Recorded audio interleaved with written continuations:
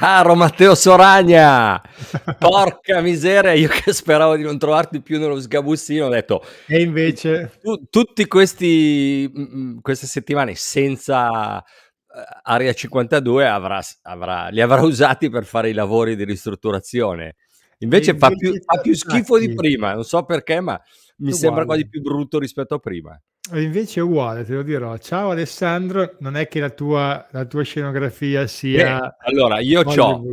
Allora, là lo vedi il poster di Michael Jordan. Qua ho la, il portapalla da basket. Dietro sono tutti i libri a tema basket, tra l'altro tutti in lingua inglese praticamente. Lì c'è un trofeo di non so che coppa che ho vinto quando ero più giovane. Quindi... Sicuramente, sicuramente non è una coppa degna di quelle che ho io a casa. Quindi... No, e non è neanche una delle medaglie che hai vinto tu con la nazionale. Bravo. Come stai? Ma sto abbastanza bene, eh, anch'io speravo di trovare un altro host al, al rientro attivando la videocamera e invece mi tocca ritrovare Alessandro, però per il resto va abbastanza bene. Cioè, a parte questa pecca qua, per il resto va bene. Esatto. Eh, allora, intanto abbiamo delle, delle, novità, nel senso che vi diremo anche nel corso di questa diretta. Già molti di, di quelli che guarderanno la replica, che possono, nel caso di questa puntata, guardare anche su Twitch perché resta, la potranno vedere sul canale YouTube di Area 52, come avete già visto con i ragazzi del gruppo eh, Marza, Paglia, L che seguono l'Eurolega, ci stiamo spostando sul canale YouTube. Eh, quindi ci sarà il trasloco anche per noi, siccome avevamo finito qua su Twitch, abbiamo deciso di ricominciare su Twitch, ma utilizzeremo questa puntata per dirvi che il classico appuntamento, questo con Area 52 eh, Twitch, non sarà più su Twitch ma sarà su YouTube, sempre free, potete vederlo quando volete, anche le repliche, quindi a voi cambia solo lo spostamento di piattaforma. Eh, può essere che magari il canale Twitch lo ten- teniamo per altre escursioni, cose strane, magari incursioni notturne prima delle partite della notte NBA. Io, perché Matteo Soragna dorme a Piacenza, non può, non può svegliare le persone. E quindi questo è quanto. Eh, e questa è la nostra scelta. La, allora, se non smetti con quel cazzo di tappo della, della penna, ta, vengo lì e ti legno. Va bene, ho appoggiato la penna. L'altra informazione che dobbiamo dare, che purtroppo non piacerà a molti, che non troverete più la versione podcast, perché per noi era diventata molto, troppo impegnativa per certi versi. Quindi il trasferimento su YouTube, eh, diciamo, è fatto anche appunto per questo, perché magari essendo un po' più fruibile rispetto a Twitch, avete la possibilità di ascoltarci anche altrove, ma non, non ci sarà più la versione podcast. Quindi se volete, per ascoltare tutte le boiate che abbiamo da dire, dovete beccarvi la nostra faccia. Ma prometto che io farò di tutto per rendere lo sgabuzzino. Vengo a casa tua una volta a Piacenza, perché sai che io, tra l'altro, eh, metà della settimana non, non, abito più a Milano, abito in, in, oltre casa tua, potrei venire mentre torno a Milano, fermarmi una volta e aiutarti a sistemare quel bugigattolo che tu Ammesso hai. e non concesso che io ti faccia entrare, però. No, cioè, tu, devi. Tu, tu, passa, poi scelgo io se quando suoni sotto ti fa farti entrare o meno. Devi, perché è una situazione drammatica. Cioè, un poster potevi metterlo dietro, un qualcosa, una palla da basket in, appoggiata sul mobile, cos'è? La stampante, non so cos'è quella roba lì che hai dietro a sinistra. Stampante, una stampante. Ecco, cioè, una roba che p- faccia capire che stiamo parlando di pallacanestro, se qualcuno vede. Quello, che quello, che fa la differenza è se metto un cazzo di poster dietro o una, una palla da basket. Guarda, Là sopra c'ho una palla da basket autografata al draft dal mago. Ma non Quindi... puoi metterla lì sotto, scusa. Fai vedere l'effetto che fa, prendila un secondo. No, cioè, devo spostare della roba. Poi che effetto fa? C'è una palla lì di fianco. Eh, che... A livello scenografico sarà un po' meglio di una parete bianca. Cos'è quel poster che hai dietro la tua testa nero invece? no, è una foto di me, mia moglie e mia figlia. Ecco. Che non si, almeno falla vedere bene, non si vede neanche bene. Che c'è? Devo staccare dal muro, dal muro e la metto qua così? Vabbè. Vabbè. Allora, eh, caro Matteo Soragna, noi siamo qua per parlare, tanto per cambiare, di NBA. L'ultima volta che ci siamo trovati, detto, avrebbe mai detto. L'ultima volta che ci siamo trovati abbiamo parlato di FIBA World Cup, non so se ti ricordi, mm, certo. quindi in questa stagione 23-24 l'avevamo già fatto, però è la prima, la prima vera eh, puntata nostra dedicata alla stagione NBA. Perché? Perché domani notte partono, tra l'altro l'opening game, quello tra Denver e Los Angeles Lakers, lo commenteremo per Sky Sport, proprio io e il Sora. Ci sarà a luna la consegna degli anelli ai Denver Nuggets a seguire la palla 2 della partita contro i Los Angeles Lakers. Quindi vi aspettiamo e mh, essendo la prima e essendo anche la consegna degli anelli, domani mh, faremo il commento in italiano già a partire dalla notturna. A seguire ci sarà Phoenix Golden State, per quella partita il commento lo trovate il giorno dopo con Flavio e Pes.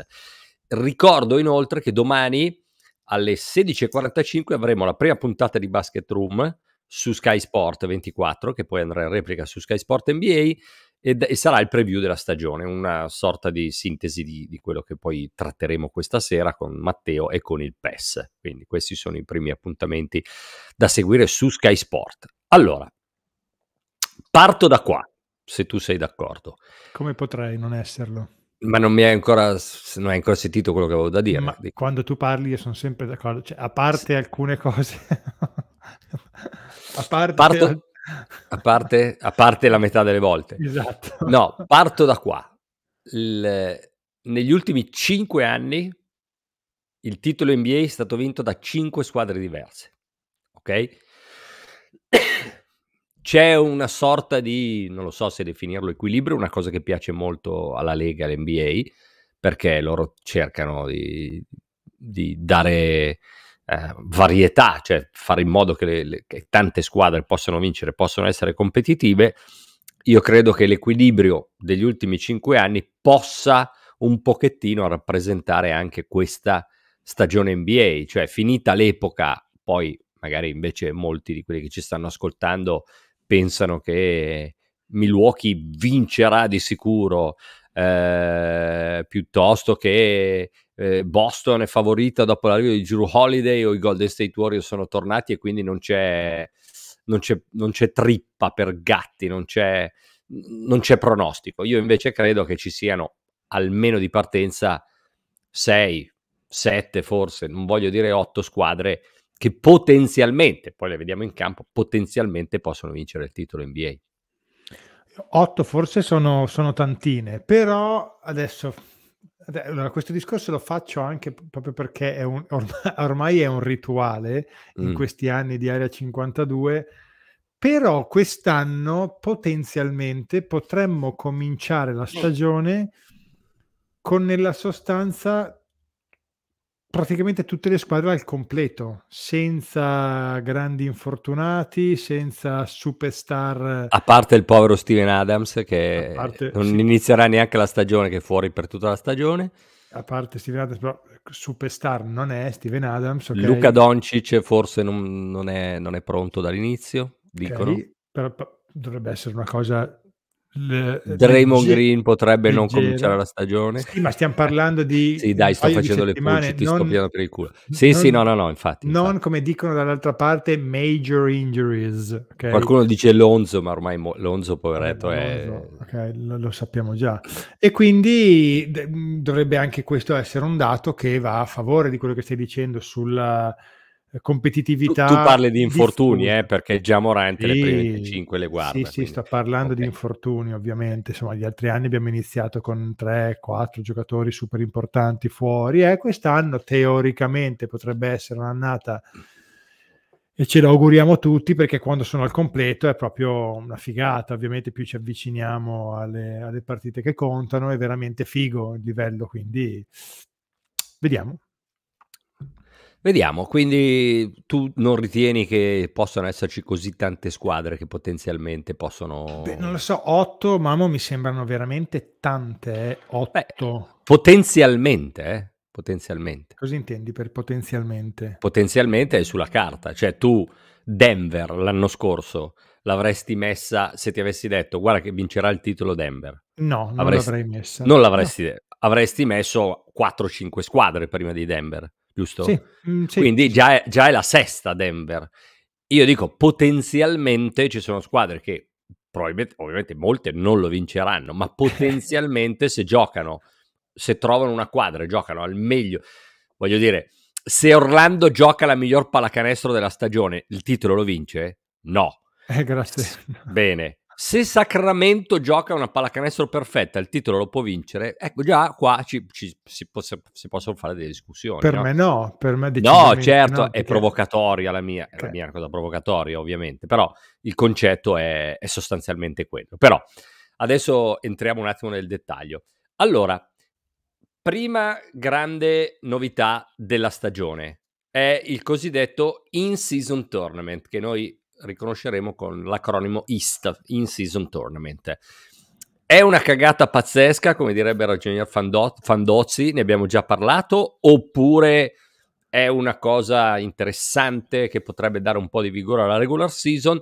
Ricordiamo che comincia, dopo vi faccio vedere le date, all'inizio di novembre, dura sostanzialmente un mese, non sono nient'altro che partite di pre-season e quindi prendiamo il gruppo A, sono le, le, due conference divise in tre gruppi per ognuno e ognuno ha, sei, a cinque squadre per una. No? Fe- Memphis gioca contro Phoenix, quella che normalmente era una partita di, di, regular season lo è a tutti gli effetti per la conta delle 82, ma quella partita lì vale due punti nel gironcino West gruppo A, che farà la classifica e che ci dirà quali sono le squadre che passano il turno.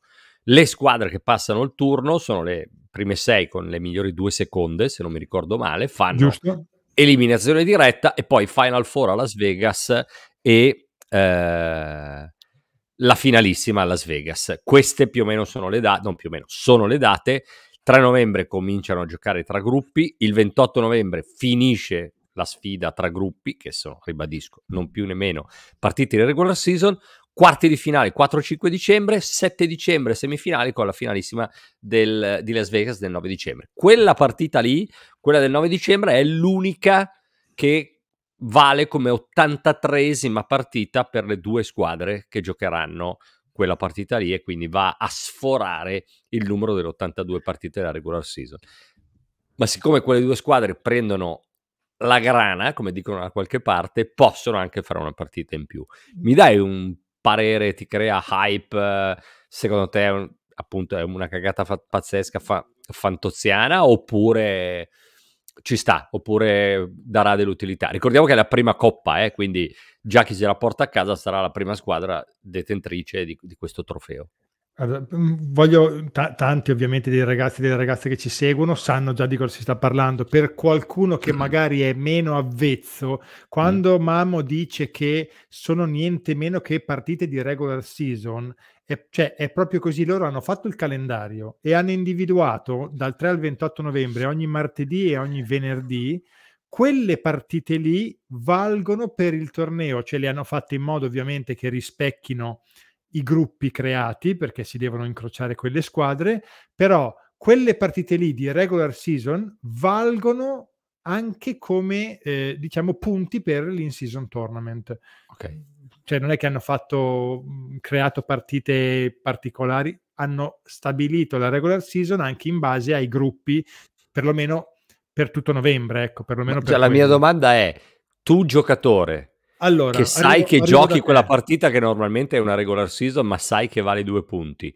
Al di là del fatto che qualcuna sarà trattata meglio, perché sono 60 le partite dei gruppi, 16 delle quali andranno in diretta nazionale, in TV nazionale in America la giochi diversamente perché sai che vale due punti o, la, o, per te, poi ovviamente sarà soggettivo, non tutti avranno certo. lo stesso sentimento, ma tu cosa ne pensi? Arrivo da te, allora, mm. secondo me non è una cagata pazzesca nella misura in cui eh, i giocatori poi nel tempo, eh, perché il primo anno, anche all'inizio il play-in eh, dalla settima decima, eh, anche quello all'inizio era visto ma sarà una cagata, non sarà una cagata e invece poi in realtà ha funzionato questo vediamo il tempo. All'inizio spero che, siccome ci, dovrebbero esserci anche no, delle regole sul, eh, sul load management durante queste partite, de- cioè le squadre devono avere un'attenzione particolare. Dopo quindi... lo trattiamo, dopo lo trattiamo. No, ma anche proprio specificatamente su queste partite ci deve sì, essere sì. un'attenzione particolare e quindi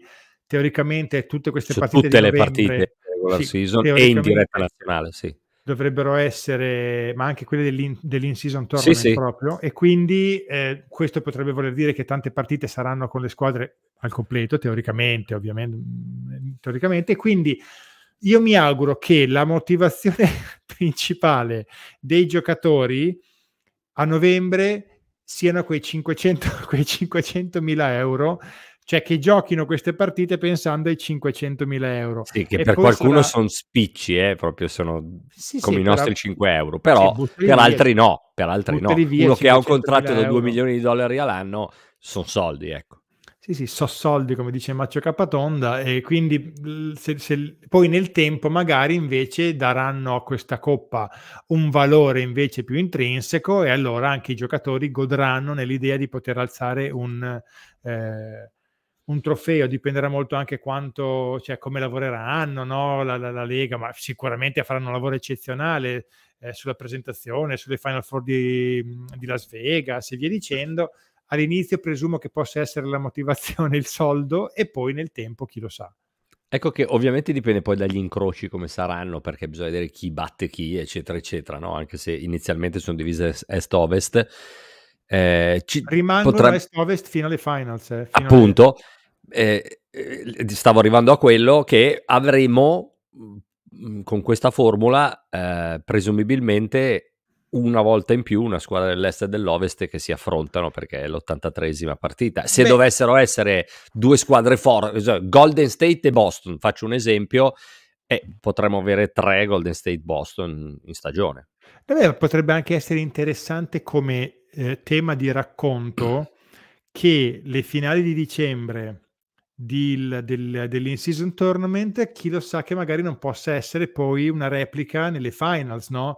Cioè all'in-season tournament arrivano in finale eh, Denver, Boston e la gente inizia a chiedersi chissà se sarà poi la finale eh, a giugno, Certo. potrebbe essere anche un tema nel racconto. Allora, non è impossibile, anche se quando c'è il knockout stage su partita secca è diverso che giocare sulle sette partite, su sette partite l'equilibrio, se sei più forte poi tendenzialmente passi. Ma Però, secondo me questo potrebbe essere un bel tema per creare hype, per creare Certo, discussione e via dicendo. certo.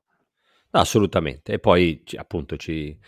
mh, soprattutto dal knockout stage in avanti ci sarà mh, sicuramente molta più attenzione mediatica e, e quindi si guarderà quella partita invece che dire vediamo chi vince stanotte in quella partita di regular season, dici vediamo chi vince stanotte nell'eliminazione diretta del knockout stage. Quindi almeno anche per chi la guarda ha un significato maggiore, al di là del fatto che poi ai fini del, del- del- del- del valore de- de- de- della stagione in sé che, che tu prendi come squadra nel vincere o perdere quella partita è relativo rispetto a, a fare strada poi nei, nei playoff.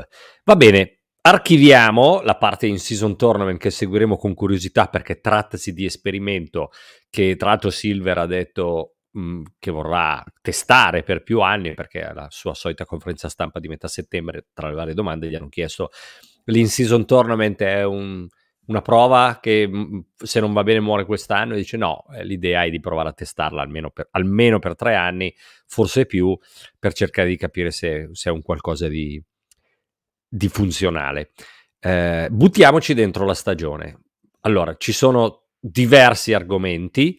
Io e Matteo Soragna faremo una panoramica abbastanza rapida sull'ovest e l'est, eh, anche perché non avendole viste, eh, io e lui siamo due che vogliamo guardare, vedere, toccare anche per le squadre che hanno cambiato.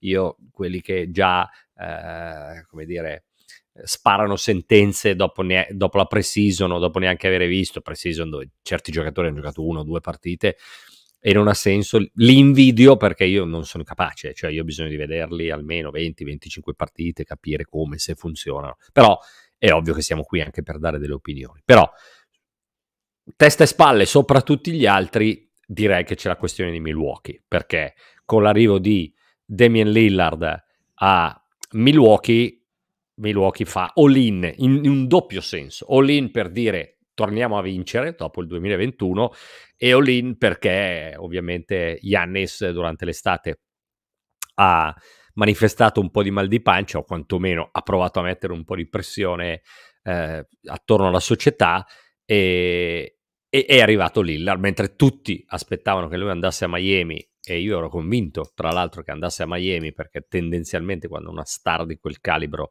si muove e dice voglio andare lì, eh, anche se bah, poi le ultime volte Irving è finito a Dallas, eh, adesso vediamo Arden dove va a finire.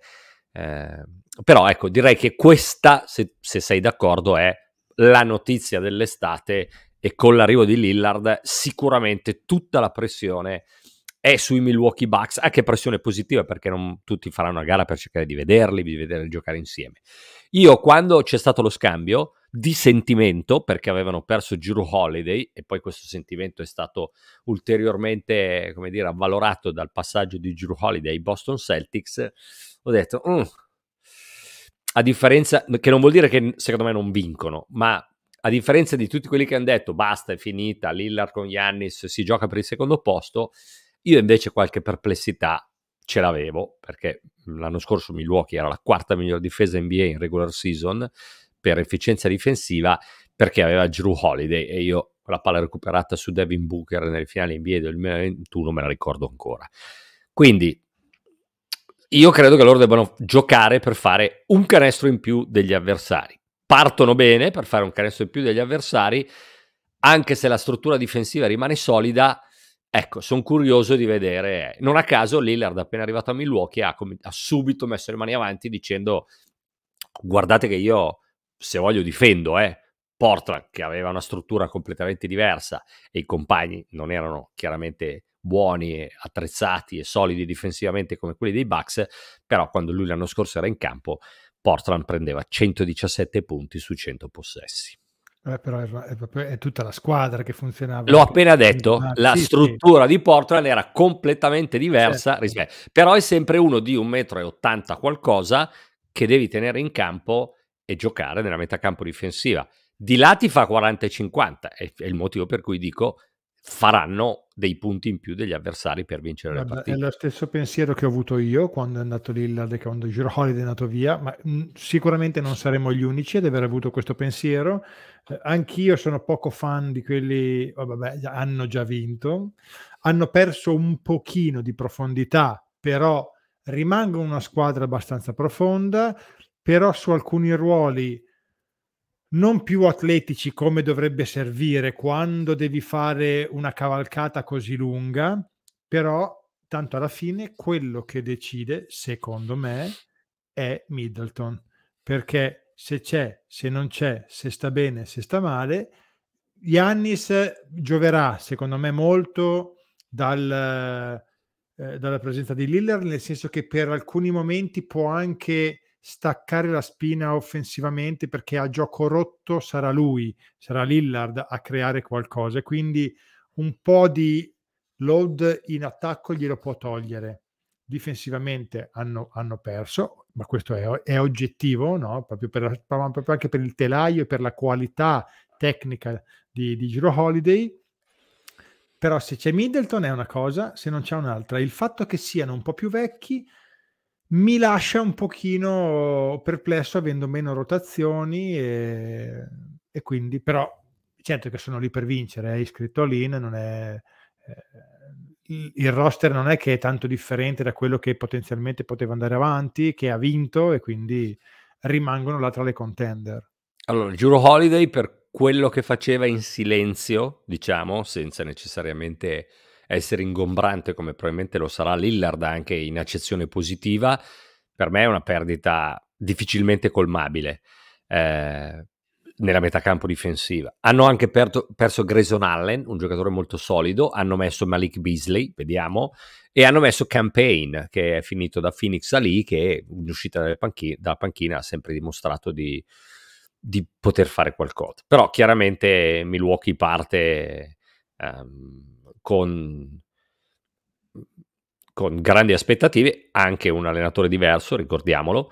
Eh, sul fatto degli allenatori, sai, io non voglio dire che sono troppo sopravvalutati perché poi l'allenatore fa la differenza, però se tu guardi Mike Malone che non aveva fatto niente quest'anno ha vinto, eh, Mazzulla quest'anno è arrivato a una vittoria, una partita a una caviglia forse di Jason Tatum dall'andare in finale NBA al suo primo anno da capo allenatore. Anche Nick Nurse quando ha vinto a Toronto non è che avesse tutta questa esperienza da capo allenatore, quindi poi alla fine sono i giocatori che decidono e ti fanno la differenza. Eh, e quindi vediamo. Però sicuramente Milwaukee è una situazione assolutamente da seguire. Poi entreremo più nel dettaglio con, uh, con la Easter Conference, con la big picture, però sicuramente un focus sui Milwaukee Bucks eh, a parte ci sentivamo di farlo. Eh, li ritieni favoriti? Chiudo con questo. Mm, non favoriti, ma ovviamente... Sono meglio di Boston? Eh, per me no. Sui, sui primi cinque no, su tutto il roster ne possiamo parlare. Perché Boston non sembra molto profonda, però no, vediamo. Non sembra molto profonda, sei stato molto gentile. Beh, però Mazzulla ha sempre giocato con 7-8, eh, rotazione a 7-8. Nei playoff non lo puoi fare. Nei playoff non lo puoi fare, vediamo quello che succede. Però, vediamo. Io vedo one inch, c'è proprio un millimetro avanti Boston, ma a bocce ferme, senza aver visto niente, certo. senza, senza assolutamente... Anche se, vabbè, sì. Guarda, iniziamo con i titoli pirotecnici. Che ricordiamo oggi hai fatto tutto te. Le Brold James. È sicuramente un argomento, le Brold James, perché è il giocatore più vecchio dell'NBA. Dopo il ritiro di Andre Iguodala è ufficialmente il giocatore più vecchio di tutta la NBA. Ecco, a differenza che quelli che arrivano alla ventunesima stagione NBA di solito hanno un po' peggio rispetto a come fa lui, no? Stagione numero 21 per lui, al di là del, del levarsi il cappello davanti a uno che per la grandezza che ha, per quello che ha fatto e che continua a fare, è proprio come cavolo fa dopo 21 stagioni a stare ancora così bene fisicamente. Ma qui entriamo in argomento perché i Lakers sono sempre creano hype, sono una delle squadre più attenzionate. Ti chiedo, già l'anno scorso lui secondo me è stato molto condizionante, non voglio dire penalizzante, condizionante nella metacampo difensiva per l'alto livello. Credo condizionante anche nella costruzione barra montaggio smontaggio delle squadre perché negli ultimi anni i Lakers hanno cambiato non so quanti giocatori in corsa la domanda è io una volta ho parlato con Ginobili dopo che si era ritirato e lui mi ha detto a un certo punto, poi Ginobili ha un altro telaio e un altro hardware chiaramente rispetto a LeBron James, a un certo punto vai in shutdown, cioè a un certo punto il tuo corpo non fa più le cose che faceva prima, ti porta il conto, non è che, non è che senti un calo graduale, che a un certo punto arrivi un momento in cui io non so se succederà mai a LeBron questa cosa qua, forse un, un, po' sta già succedendo, perché chiaramente gioca un po' in maniera diversa, più di fisico, più tiro da tre punti. E... Però la domanda che ti voglio fare è, i Lakers, sul quale c'è grandissimo hype, poi andiamo anche sui cambiamenti, le cose che hanno fatto, con comunque lui al centro del progetto, perché poi farà, farà fare le cose di più a Anthony Davis. Austin Reeves credo che avrà molto più spazio a livello di licenza di uccidere in attacco e, e, e, altri giocatori. I Lakers hanno una rotazione lunghissima, potenzialmente hanno una rotazione di 10-11 giocatori, ma così al centro di un progetto, per come è condiziona la metacampo difensiva, tu credi che possano avere ancora una run possibile per provare a vincere un titolo? Eh, allora, secondo me quest'anno più dell'anno scorso, perché Ok. quest'anno sono veramente abbastanza profondi, anzi molto profondi direi. Hanno il roster che permette a LeBron di riposarsi forse ancora di più di quanto non facesse l'anno scorso, perché comunque nel primo quarto e anche per metà, diciamo, del secondo quarto, l'anno scorso LeBron assisteva eh, alla partita solo ogni tanto dava qualche sgasata se, se, se c'era bisogno, ma altrimenti eh, poi nel terzo e nel quarto quarto giocava e nonostante questo ne ha fatti 28 e mezzo alla stagione numero 20. Mm. Cioè adesso a 40 anni non è, non è mai esistito nessuno che alla ventunesima stagione facesse quello che farà lui, perché lo farà, eh? perché metti che si riposerà tanto, metti che gli altri vanno molto più spazio, cosa facciamo? 18 di media, 16 di media. No, beh, no, ne farà di più, voglio ascolta, dire. Sto esagerando proprio volutamente. Sì, estremizzi, ok. Estremizzo, ma proprio in negativo. 16 di media. Mm. È lontanamente superiore a tutti quelli che alla sua età o alla ventunesima stagione hanno prodotto giocando. Quindi è proprio cioè, è un essere a parte. Un essere a parte. Detto questo, io credo, adesso ma proprio senza fondamento, che comunque faranno qualche cambiamento, secondo me, perché di Angelo Russell per me non ha vita lunghissima lì dentro, come tipologia, no? Cioè, proprio Los Angeles ha bisogno con Reeves che è diventato quello, ha bisogno anche in quel ruolo di avere uno molto più atletico, molto più difensivo, eh, molto meno che ha bisogno di essere superstar, eh, altrimenti si lamenta nei podcast lamentandosi, non so se, lo, se l'avete mai visto, no?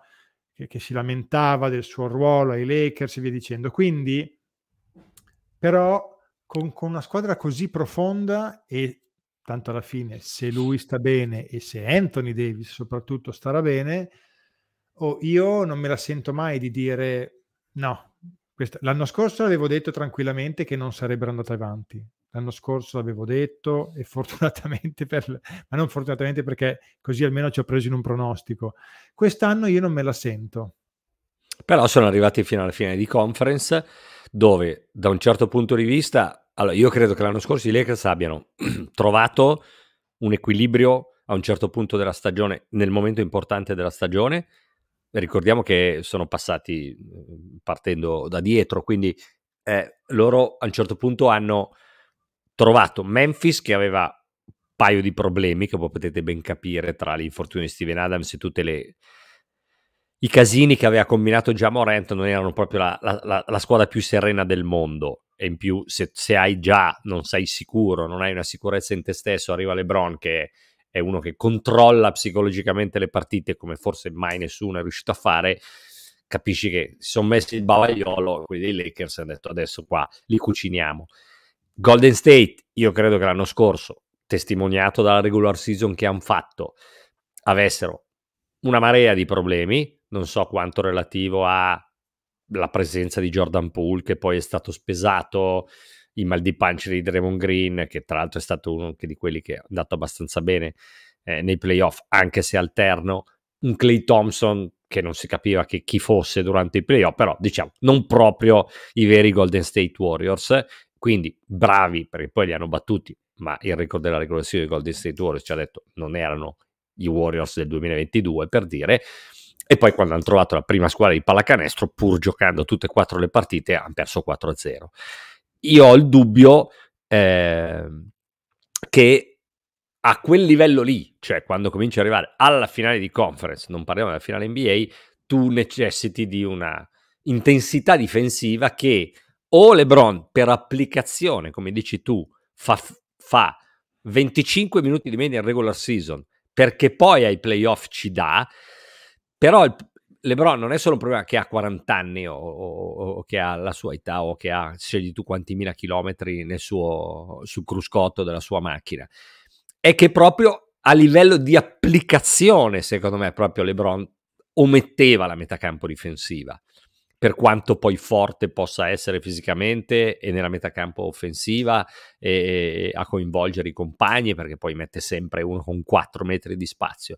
Però se tu riguardi le partite dei Lakers lui a un certo punto probabilmente è una scelta che deve fare cioè per dare di qua e fare 28 e 10 di là deve come dire eh, non difendere 3 azioni su 5 e 2 azioni su 5 io temo che tu non te lo possa permettere nei playoff quindi magari è meglio che faccia 18 e 7, invento i numeri, che però poi quando ci sono i playoff, se andranno ai playoff, poi difenda veramente come...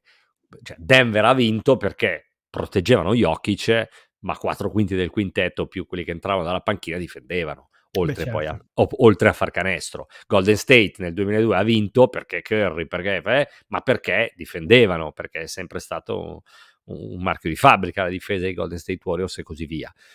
Quindi non lo so, eh, ho, ho, un po' questo dubbio qui. Sto parlando dell'alto livello, eh, perché quando ci mezzo LeBron, i Lakers, dopo la finale di conference, ovviamente si sogna in grande. Il, il dubbio che tengo io è quello e seguirò con grande curiosità la gestione sua della regular season e la squadra. Come, come te, anch'io ho dei dubbi su D'Angelo Russell. Mm, qualcuno ci ha chiesto sul quintetto, credo che domani notte in quintetto parta, parta Taurian Prince, perché Vanderbilt non è a postissimo fisicamente, però io immagino che poi durante la stagione si, si, possa, si possa anche variare più volte il quintetto, no? Sì, sì, sì, assolutamente. Quella profondità lì glielo, glielo consente, quindi ehm, hanno, si sono mossi bene, io devo essere sincero per quello che potevano fare, come potevano muoversi, eh, si sono mossi bene. Scusa, fammi rispondere ogni tanto a qualcuno, Teseo e Zet, perché poi noi ci piace parlare anche con gli amici della chat. Diciamo che ai playoff LeBron aveva un piede infortunato. Probabilmente aveva un piede infortunato. Io la mano a Cleveland rotta, il piede infortunato. Eh. Io non ho mai visto la radiografia e quindi alla fine dell'anno arriva uno e ti dicono c'era un altro giocatore di alto livello, Curry forse era quest'anno che hanno detto alla fine dell'anno ha giocato che non stava bene fisicamente, detto che tu mi insegni che hai giocato ad alto livello, eh, l'80% delle volte nei playoff non sei mai a posto fisicamente per, per, la stagione che hai fatto. Poi ovviamente ci sono quelli che stanno dalla parte di LeBron, quelli che stanno contro la parte di LeBron. Certo, se, se adesso io finisco la diretta e dico, ah, sapete, bellissima diretta, mamma, eh, sapete, l'ho fatta con 41 di febbre e tutti andate, oh, mamma, ho fatto la diretta con 41 di febbre. Magari dovrei portarvi il certificato medico, darvi adesso sto esagerando, ironizzando, però poi alla fine eh, chi, chi, cioè, era lì, giocava con i numeri che ha fatto in attacco eh, o quella volta che diceva di avere la mano rotta. A me non sembrava che giocasse come uno che aveva la mano rotta perché faceva dei numeri devastanti. Detto questo, il, il, tema secondo me rimane e sono d'accordo con te, con quello che hai detto prima di Middleton, quando hai detto secondo me dipende da Middleton per Milwaukee, co- specifico, secondo me, dipende dal ginocchio di Middleton. Ma sì, ma e, e, e dipende anche da Anthony Davis, come sarà ovviamente Anthony Davis. Eh, quindi alla fine vediamo. Però i Lakers li seguo con grande curiosità. Austin Reeves fa breakout season, secondo te? Era il, era il, giocatore americano più amato dal pubblico filippino ai mondiali a Manila. Sì, sì, sì. Eh, lo adoravano. Ci potrebbe stare perché già l'anno scorso anche LeBron, se vi ricorderete, ogni tanto gli lasciava il palcoscenico anche in The Clutch, quindi è sicuramente un giocatore di LeBron e questo aiuta tanto anche nella percezione sua di se stesso all'interno della squadra. Eh, va in continuità con la crescita che ha fatto l'anno scorso, avrà probabilmente anche qualche pallone in più e quindi eh, cioè, tutto è dalla sua parte, eh, poi difensivamente ne parliamo, però offensivamente a me è uno che proprio piace, eh, per quello che fa proprio mi piace. Sì, ovviamente con un contratto diverso sulle spalle sembrerà meno forte, ma io credo che avrà, farà una buona stagione anche perché appunto è, è, è, il prescelto del prescelto e quindi tendenzialmente eh, è uno che ci mette, poi anche atleticamente ci sta. Bene, parcheggiamo la situazione di LeBron James e andiamo invece su altro che la ventunesima stagione di LeBron, il vero hype di questa stagione, un hype così credo non ci sia mai stato proprio dai tempi in cui il signor LeBron James eh, entrava nella NBA dopo appunto essere stato the chosen one, il prescelto. Eh. Allora, se ne parla da, da, da, anni, forse da un anno sicuramente, da mesi. Eh, l'hanno fatto sparire perché quando l'hanno fatto giocare a Matt a Parigi non hanno voluto fargli fare certe partite, lo volevano un po' nascondere, gli hanno dato la sua comfort zone, non ha fatto il mondiale, ha fatto finta di giocare un paio di partite alla Summer League e poi a un certo punto si è presentato per le partite di pre-season dove secondo me non si può neanche dire ha voluto far vedere che cosa fa, cioè ha messo lì, come dire, ha mandato dei messaggi. E che questo qua proprio quando va in campo è quella roba lì. Cioè gli vengono delle robe naturalmente con, con le dimensioni di quel corpo che io non ho mai visto prima ma neanche quando Adetokumbo ha cominciato a diventare Adetokumbo, per dire che prima è stato il, prim- stato il primo giocatore sovradimensionato dell'NBA a fare certe cose, o Anthony Davis quando ha cominciato a diventare Anthony Davis che già ci sembravano dei corpi straordinari a, a diciamo commovenze tecniche per, che normalmente hanno giocatori più piccoli. Ma l'altro giorno stiamo preparando lo studio di domani quello di presentazione della stagione NBA ho guardato sul content di NBA dove arrivano le immagini per noi c'erano 14 minuti con tutte le giocate in attacco e in difesa, singole, ogni singola giocata in attacco e in difesa di, di Wembanyama della pre-season, mi è cascata la mandibola, cioè l'ho dovuta tirare su con la, carri- con la carrucola e rimettermela attaccata a, a, all'arcata superiore perché io ti giuro, una roba così, cioè, che fosse bravo, sì, quest'estate mi hanno chiesto, mi hanno fatto un'intervista su di lui, io ho detto a due strade, o diventa un buon giocatore o diventa uno che non si è mai visto, o comunque il nuovo detto Kumbo, ho detto per me è molto più la seconda, cioè destinato a diventare qualcosa che non si è mai visto. Prova a dirmi tu qualcosa, perché onestamente che, che cosa vuoi dire? Oltre, cavolo, è forte, fa delle robe pazzesche. Vabbè, beh, a parte la, mhmm, prettamente l'aspetto tecnico, a me ci sono due aspetti che, come dici tu, fanno cadere la mandibola. Uno è la sua capacità di gestire il, il movimento nel breve, perché con quelle leve gestire il movimento nel breve è qualcosa di... Cioè la rapidità. È proprio la velocità di piedi. La velocità Ma anche, piedi... anche della parte alta del corpo. Eh. Sì, cioè, sì, sì, sì, ma proprio la gestione... Cioè, tu l'hai vista la stoppata che ha fatto questa roba qua? Questa roba qua secondo me è fuori dal mondo. A parte dove va? Ma sì, no, ma, ma, ho capito, ma è Wiggins, cioè non è che sta tirando, non so, Valanciunas, che ci mette il doppio del tempo di Wiggins a prendere un tiro da tre punti. Cioè certo. Wiggins che sta tirando in sospensione, perché vedi che i piedi sono alzati, e la palla è, non so, a 3,50 metri. E lui a- arriva in ritardo, ha stoppato Clay Thompson, eh, Secondo me lui vince il premio di miglior stoppatore dell'NBA, ma, ma proprio con due, due, giri di vantaggio sul secondo. Ma quello può essere, eh? quindi non, questo sai, va in estensione, eh, dipende poi quando c'è arrivato, ma a me quello che fa impressione è la capacità di gestione del palleggio nel breve e quindi piccoli cambi di direzione, di velocità, pareggi in mezzo alle gambe, piccole virate, ne, con quelle leve lì. E l'altro aspetto è la sua elasticità girava un video del, di, di, quando faceva degli esercizi delle, posturali, cioè la, la, spaccata, sì. la spaccata, oppure c'è quell'esercizio che eh, si fa per insomma mobilizzare la schiena, dove vai in squat totale con le mani sulle punte, sotto le punte delle scarpe e poi stendi le gambe e lui si chiude a portafoglio. Cioè, quando sta in piedi, va giù per toccarci le punte dei piedi e con la testa tocca il, il perone, la tibia.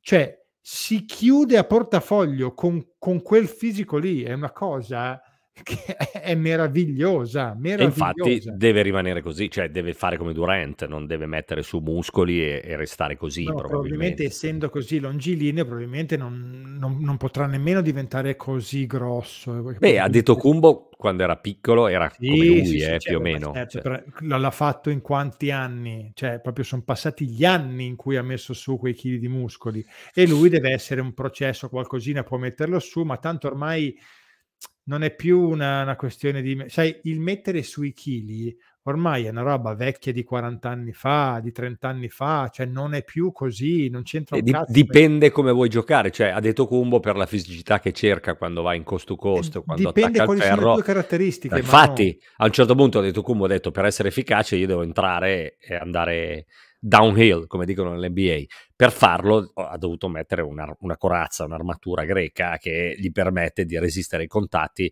e di arrivare fino in fondo. Wembanyama può essere Kevin Durant 2.0 più, sì, più sì, Kevin sì. Durant che ha detto Kumbo assolutamente la, a me la cosa che sorprende è l'istinto le sue caratteristiche le caratteristiche certo. proprio fisiche sue cioè se mettere su 5 kg non gli permette più di avere quella, quella velocità no? nel breve, non sono assolutamente funzionali quei 5 kg, eh, quindi non, eh, è un giocatore veramente che può segnare un'epoca. Poi l'unica cosa è fatelo giocare, almeno fatelo giocare. Beh, ma perché non dovrebbe? Nel senso che grazie no, a quello no, che dici no, tu... No, prima di dire che è il nuovo unicorno... Ah, fatelo è... giocare eh, prima di giudicarlo, no? Eh, certo. Vediamolo, diamogli no, no, certo. cioè, è giusto cioè, Però diciamo hype. che le...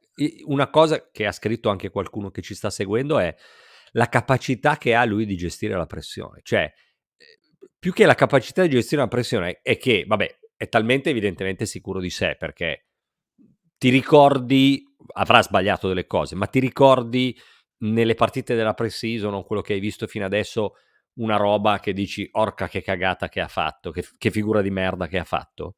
Io neanche una. Vabbè, detta così, no, però mi, No.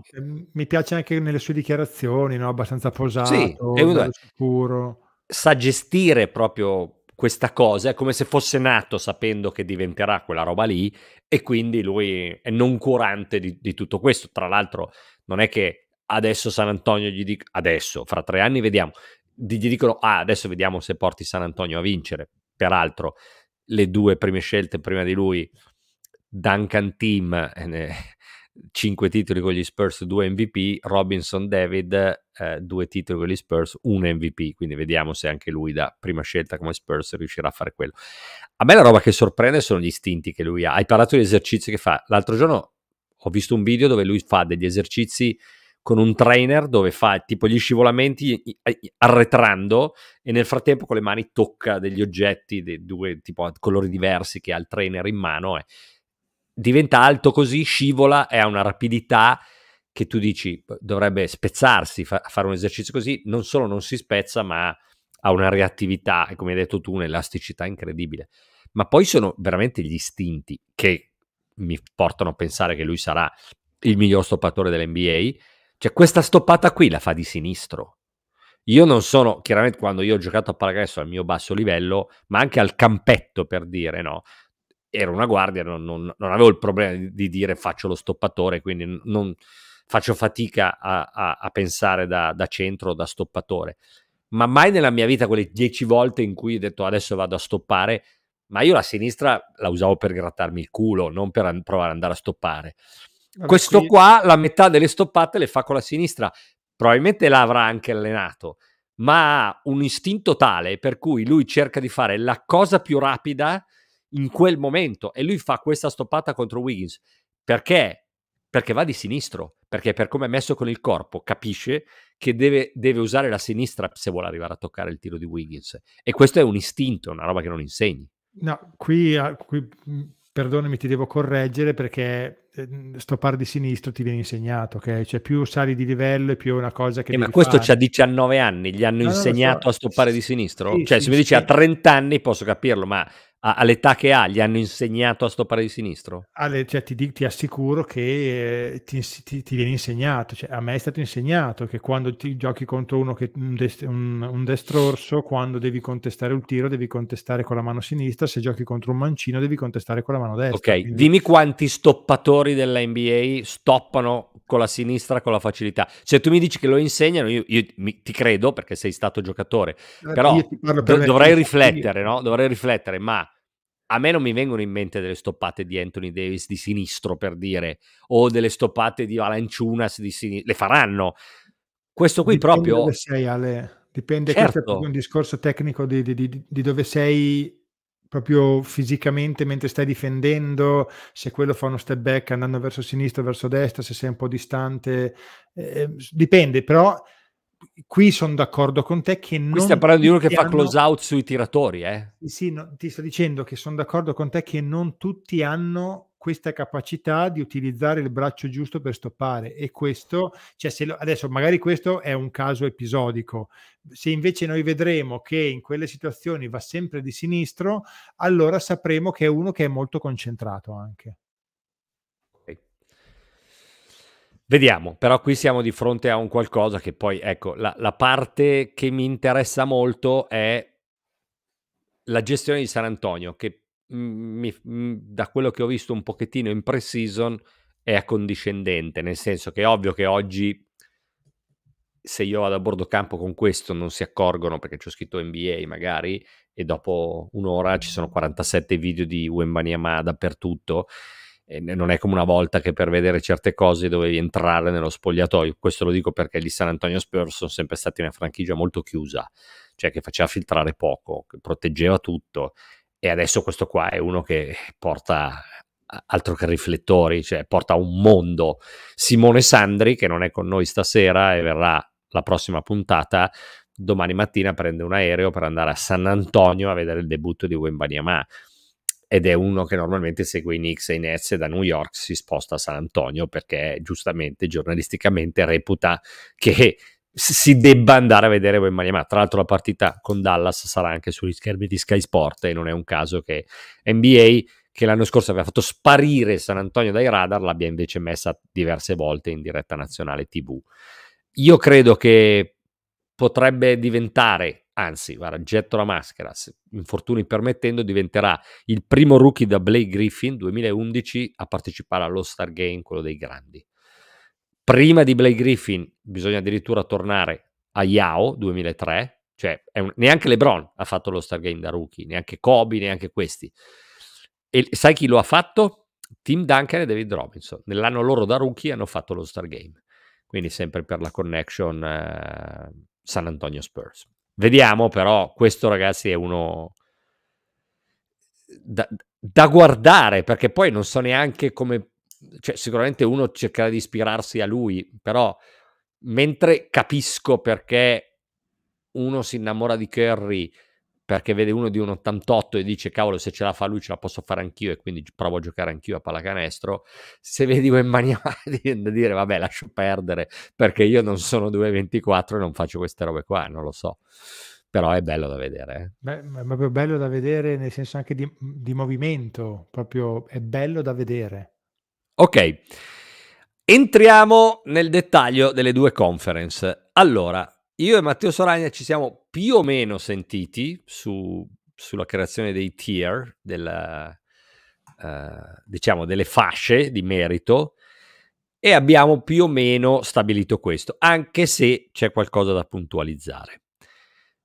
Cominciamo ad est. Io, per quello che ho detto prima, ho messo non, non, è una classifica, cioè per esempio il tier 2 dove ci sono Miami, New York, Brooklyn, Atlanta, anche Toronto. Sì, si può un po' vedere come una classifica, facciamo il tier 3 che è più, più chiaro.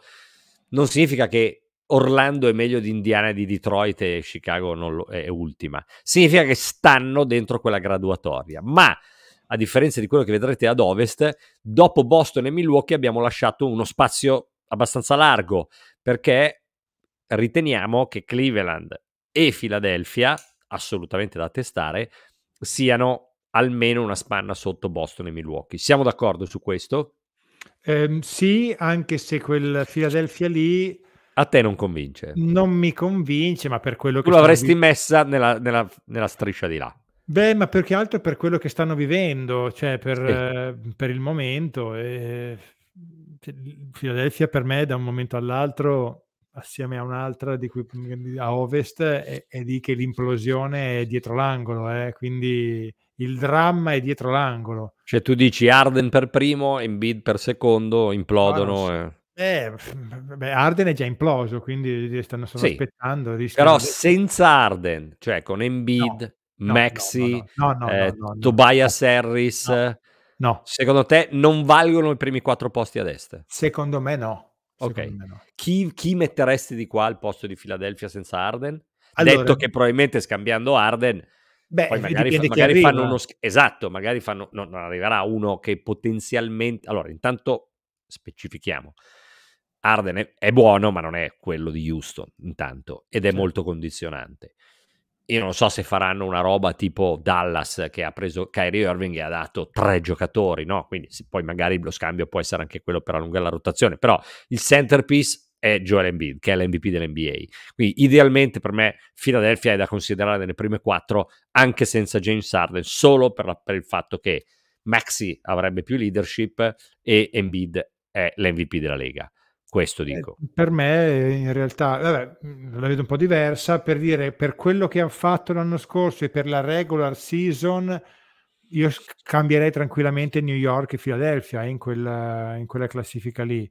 O i Nets, forse, forse i Nets, per, perché comunque sono una squadra particolare, di, di, di energia, di, brillante, divertente, quindi il regular season potrebbe essere eh, una squadra che il Philadelphia secondo me implodono proprio ok per te alla fine sono son lì lì per crollare domanda credi in Cleveland cioè pensi che nonostante i playoff deludenti possano invece uh, mm. crescere ancora crescere ancora secondo me sì quindi ci sta che possano essere terzi o quarti dopo Boston mm, sì, non mi dispiace, non mi dispiace okay. l'idea, perché secondo me possono crescere. Ok, Miami, perché ecco. Miami è una squadra che ha fatto diverse questa, questa, secondo me invece è una squadra che l'anno scorso ha beccato questa run incredibile dove vabbè, è iniziata bene perché eh, gli è andata eh, bene perché ha detto Kumbo ha saltato le prime due partite anche se poi hanno vinto anche quando c'era detto Kumbo però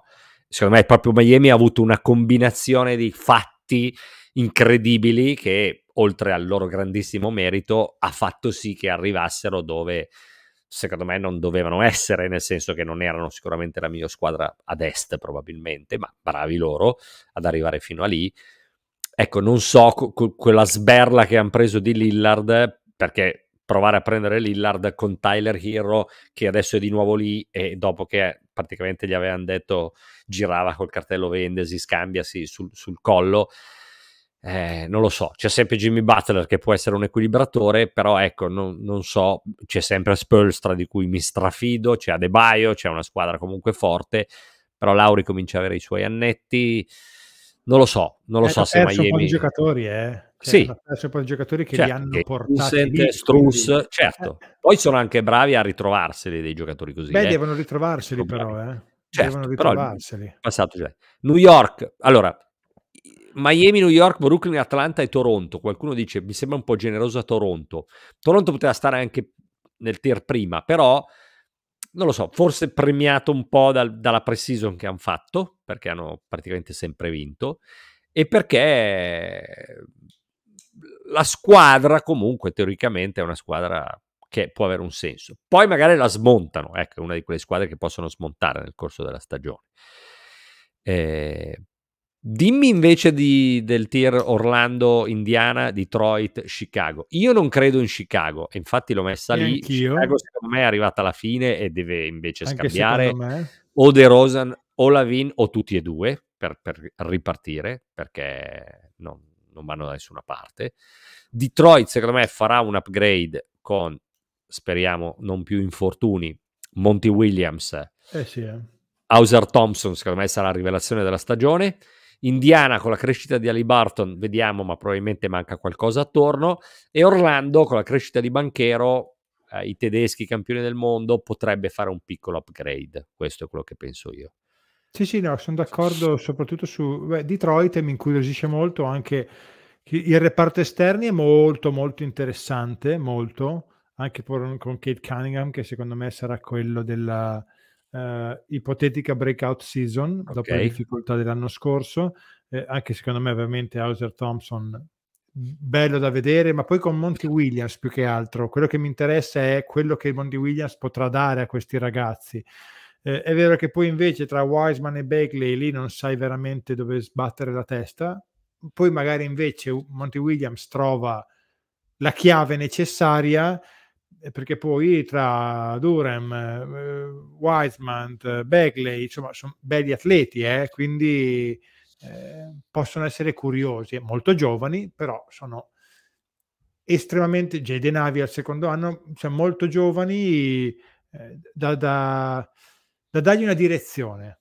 Sì, possono, possono, quasi essere una rivelazione potenzialmente, potrebbero potenzialmente. Pa- prendere il posto io ho messo At- abbiamo messo Atlanta perché comunque con Snyder partendo dall'inizio potenzialmente, insomma c'è sempre Trae Young, però anche Atlanta potrebbe essere una squadra non distante da Chicago come idea di provare a dire così non funziona, proviamo a cambiare in, in qualche altro modo.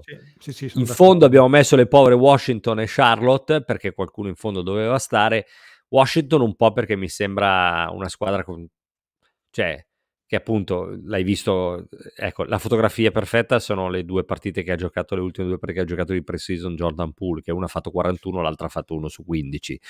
Eh, privi di una leadership, di un senso, di, forse anche di una cultura.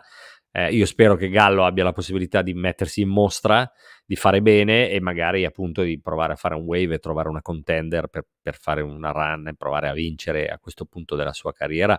Glielo auguro eh, e Charlotte perché comunque Charlotte eh, ha la Melo, eh, però anche lì sono, sono, un po' sul filo e poi perché qualcuno in fondo la devi mettere, non è che... So. Sì, sì, no, sono, guarda, sono abbastanza d'accordo. Le uniche discussioni che abbiamo avuto su quelle un paio di squadre che secondo me si possono tranquillamente invertire. Miami, mm, siamo borderline, no? Poi io mi faccio influenzare dal fatto che l'hai messa come prima, ma non è una classifica, cioè non è la quinta squadra, fa parte di quel tier, quindi...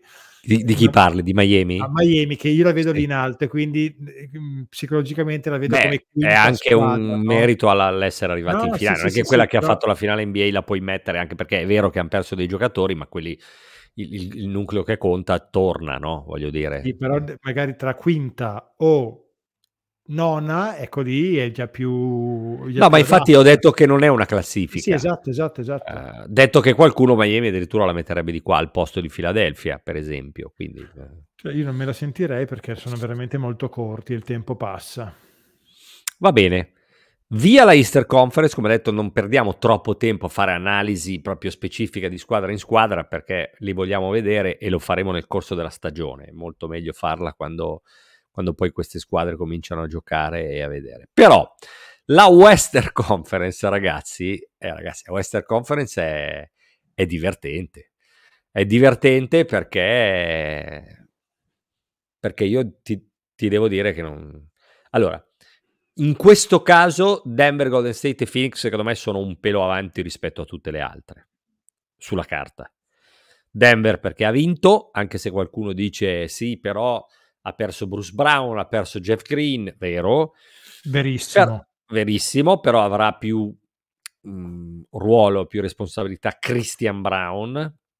Ci saranno dei giocatori giovani che vedrete che Malone comincerà uh, a, a, girare di più uh, nelle rotazioni e per forza di cose, perché poi dopo se, se cambi, eh, semplicemente quando poi vinci, eh, valorizzi certi giocatori, poi dopo questi giocatori ti chiamano i contratti e tu non, non puoi più dare i soldi quando hai dato quest'anno 47 a Jokic, 33 a Murray, 33 a Porter Jr. e, e 22 a Aaron Gordon, Cantevius del Pub, l'altro del quintetto è P14, probabilmente non lo so. Però io credo che Justin Holiday, vediamo che ruolo avrà, Christian Brown avrà sicuramente più ruolo. A me è piaciuto molto Julian Strauter, ma non so se così giovane avrà. Uno che mi aspetto che giochi un po' di più è Peyton Watson, che è uno di quelli che aveva fatto vedere qualcosina. Ecco, poi per la regular season, per l'alto livello dei playoff, io questo non lo so, però sono la squadra che ha vinto il titolo e... Giustamente e stanno lì. Stanno lì. La domanda è, Golden State con la spedizione punitiva di Jordan Poole che evidentemente... Allora, io ti lancio una delle bombe, perché noi le bombe le abbiamo alla fine, ma siccome parliamo di Golden State qua, te ne lancio una mezza bombetta. Non so se succederà, però io sarei stupito se Chris Paul finisse la stagione a Golden State. No, te lo dico così. allora, io quando ho visto quel, quel, quel movimento lì, io ho storto il naso ho storto il naso per due motivi. L'hanno fatto per liberarsi di Pool. No, no, va benissimo, però poi d- dipende che tipologia di giocatore prendi. No, ho storto il naso per due motivi. Uno è che eh, non è propriamente un giocatore stile gioco Warriors e l'altro è che accetterà un giocatore che è abituato a essere l'alfa dog accetterà di essere un giocatore che invece deve fare non uno, ma due o tre passi indietro rispetto e accettare anche di non essere più quello su cui si basa una franchigia Però non sono... lo ha fatto già un po' l'anno scorso a Phoenix con Durant e Booker. Mm, poi lascia sì, perché sei infortunato. Lì, eh, poi si è fatto male, però poi era sempre, però è sempre lì. Eh. Adesso è proprio un modo di giocare diverso, è proprio una, un, una cultura di, di, pallacanestro diversa, che non, non vuol dire cosa che, che, non vada in assoluto bene. Però eh, te, te, lo vedi lui che inizia a girare come una trottola, muoversi tanto senza palla, non, non può succedere. No, io penso che quando c'è lui in campo, allora, intanto la prima questione è sarei stupito se finissero le partite con Chris Paul in campo. E già questo è un problema, perché se tu hai un giocatore di personalità come, come Chris Paul, gli dici, guarda Chris, bene, ma gli ultimi 5 minuti devi star seduto. Mica perché non è abbastanza forte, perché quello, quello che ho detto prima con Lillard, figuratevi se per forte che puoi essere in attacco, non puoi avere ad altissimo livello per vincere il titolo negli ultimi 5 minuti in difesa due giocatori di 1,80 m perché nell'NBA del 2024 ti, ti, aprono in due se hai due giocatori di 1,80 m non ce la fai. Quindi quello che penso è sono d'accordo sul fatto che lui non, è, non giochi è, quando c'è in campo lui deve giocare in maniera diversa però può essere con Chris Paul giochiamo 15-20 minuti di partita in maniera completamente diversa. Sono 15-20 minuti con Chris Paul eh, ma devi dargli un giocatore che possa giocare roll assieme a lui. Vabbè, ma Draymond Green può essere un giocatore ma da pick roll. sotto 70... Draymond Green funziona con Curry perché con Curry non puoi passare sotto e allora devi essere un po' più aggressivo allora Draymond Green si prende il, il pocket pass e passa a tutti. Con Chris Paul puoi tranquillamente passare sotto. No, ma poi c'è quello che dicevi anche tu, è anche un, una questione di, di, leadership, di ego. Cioè non è che puoi chiedere a Chris Paul... Cioè, se accetta il ruolo, io penso che lui vada anche in panchina gli ultimi 5 minuti. Però quella è la squadra di Draymond Green, la squadra di Curry, eh, cioè non, non, non, lo vedo che alza la voce nello spogliatoio degli Warriors lui, certo. perché non l'ha mai fatto nessuno al di fuori di Draymond Green. Curry non deve alzare la voce. Dobbiamo vedere comunque, a parte il, l'amore l'amore dichiarato mm, Draymond Green, Chris Paul, perché adesso eh. giochiamo insieme e tutto, poi alla prima volta che uno manda a fanculo l'altro, eh, chissà cosa può venire fuori eh, da quei due. Esatto, quindi... esatto. E l'altra grande questione è il, il, contratto di Clay Thompson, perché è venuto fuori adesso anche in queste ultime ore che sembra che non ci sia l'accordo da un punto di vista né di durata del contratto, perché lui potenzialmente può fare 5 anni, né tantomeno delle cifre. Cioè, Golden State spererebbe di fare un contratto a Clay Thompson non troppo lungo sulle cifre di Draymond Green e ovviamente uno come Clay Thompson, dopo che è lì che ha fatto vincere tutti quei titoli alla squadra, lui direbbe eh, però magari io eh, dovrei meritare dei soldi diversi. Le però... ultime voci, scusami, le ultime voci erano 4 anni a 2,30 eh. Sì. Quindi al 37 anni guadagnerebbe 61 milioni. No, ma non glieli vogliono dare, infatti, se no avrebbe, avrebbero già annunciato. Però quello che dico è, Te lo ricordi il playoff che ha giocato Clay Thompson l'anno scorso, eh, certo. soprattutto la serie contro i Lakers? Sì, però l'anno scorso una... è stato un anno strano l'anno scorso. Eh. Eh, però le ha giocati così perché fisicamente non, non, è più lui e non riuscirà più a essere quel, quello vero o perché Jordan Poole gli faceva girare i coglioni, diciamolo. So, però lui ha vinto, ha vinto, un anello al, al, primo anno di rientro, quindi è vero che non faceva quello che faceva prima, ma l'ha vinto lo stesso l'anello. Quindi l'anno scorso, secondo me, era più era proprio un'annata dove le cose proprio non funzionavano. Poi non, non, io non so se Golden State adesso con Curry a 36 anni, 37, quelli che hanno, è, è la stessa roba. Poi Wiggins, se sta bene, se non sta bene, se fa... No, anche questo è un tema, è un tema estremamente importante. Quindi ci sono tanti punti di domanda, tanti, che vanno risolti nell'annata. No, no, certo. Eh, vabbè, mhmm, s sono curioso, ehm, sono curioso di vedere. Io penso che Kuminga possa essere il giocatore chiave di questa squadra quest'anno. E Io se io sì, cioè, n aspetta, non sto dicendo potenzialmente se è allacciato come ha fatto in pre-season e che finalmente si scrolla di dosso, si sente la fiducia di Kerr, eccetera, eccetera, potenzialmente può anche concorrere per il premio giocatore più migliorato o di sesto uomo dell'anno, se è quello lì.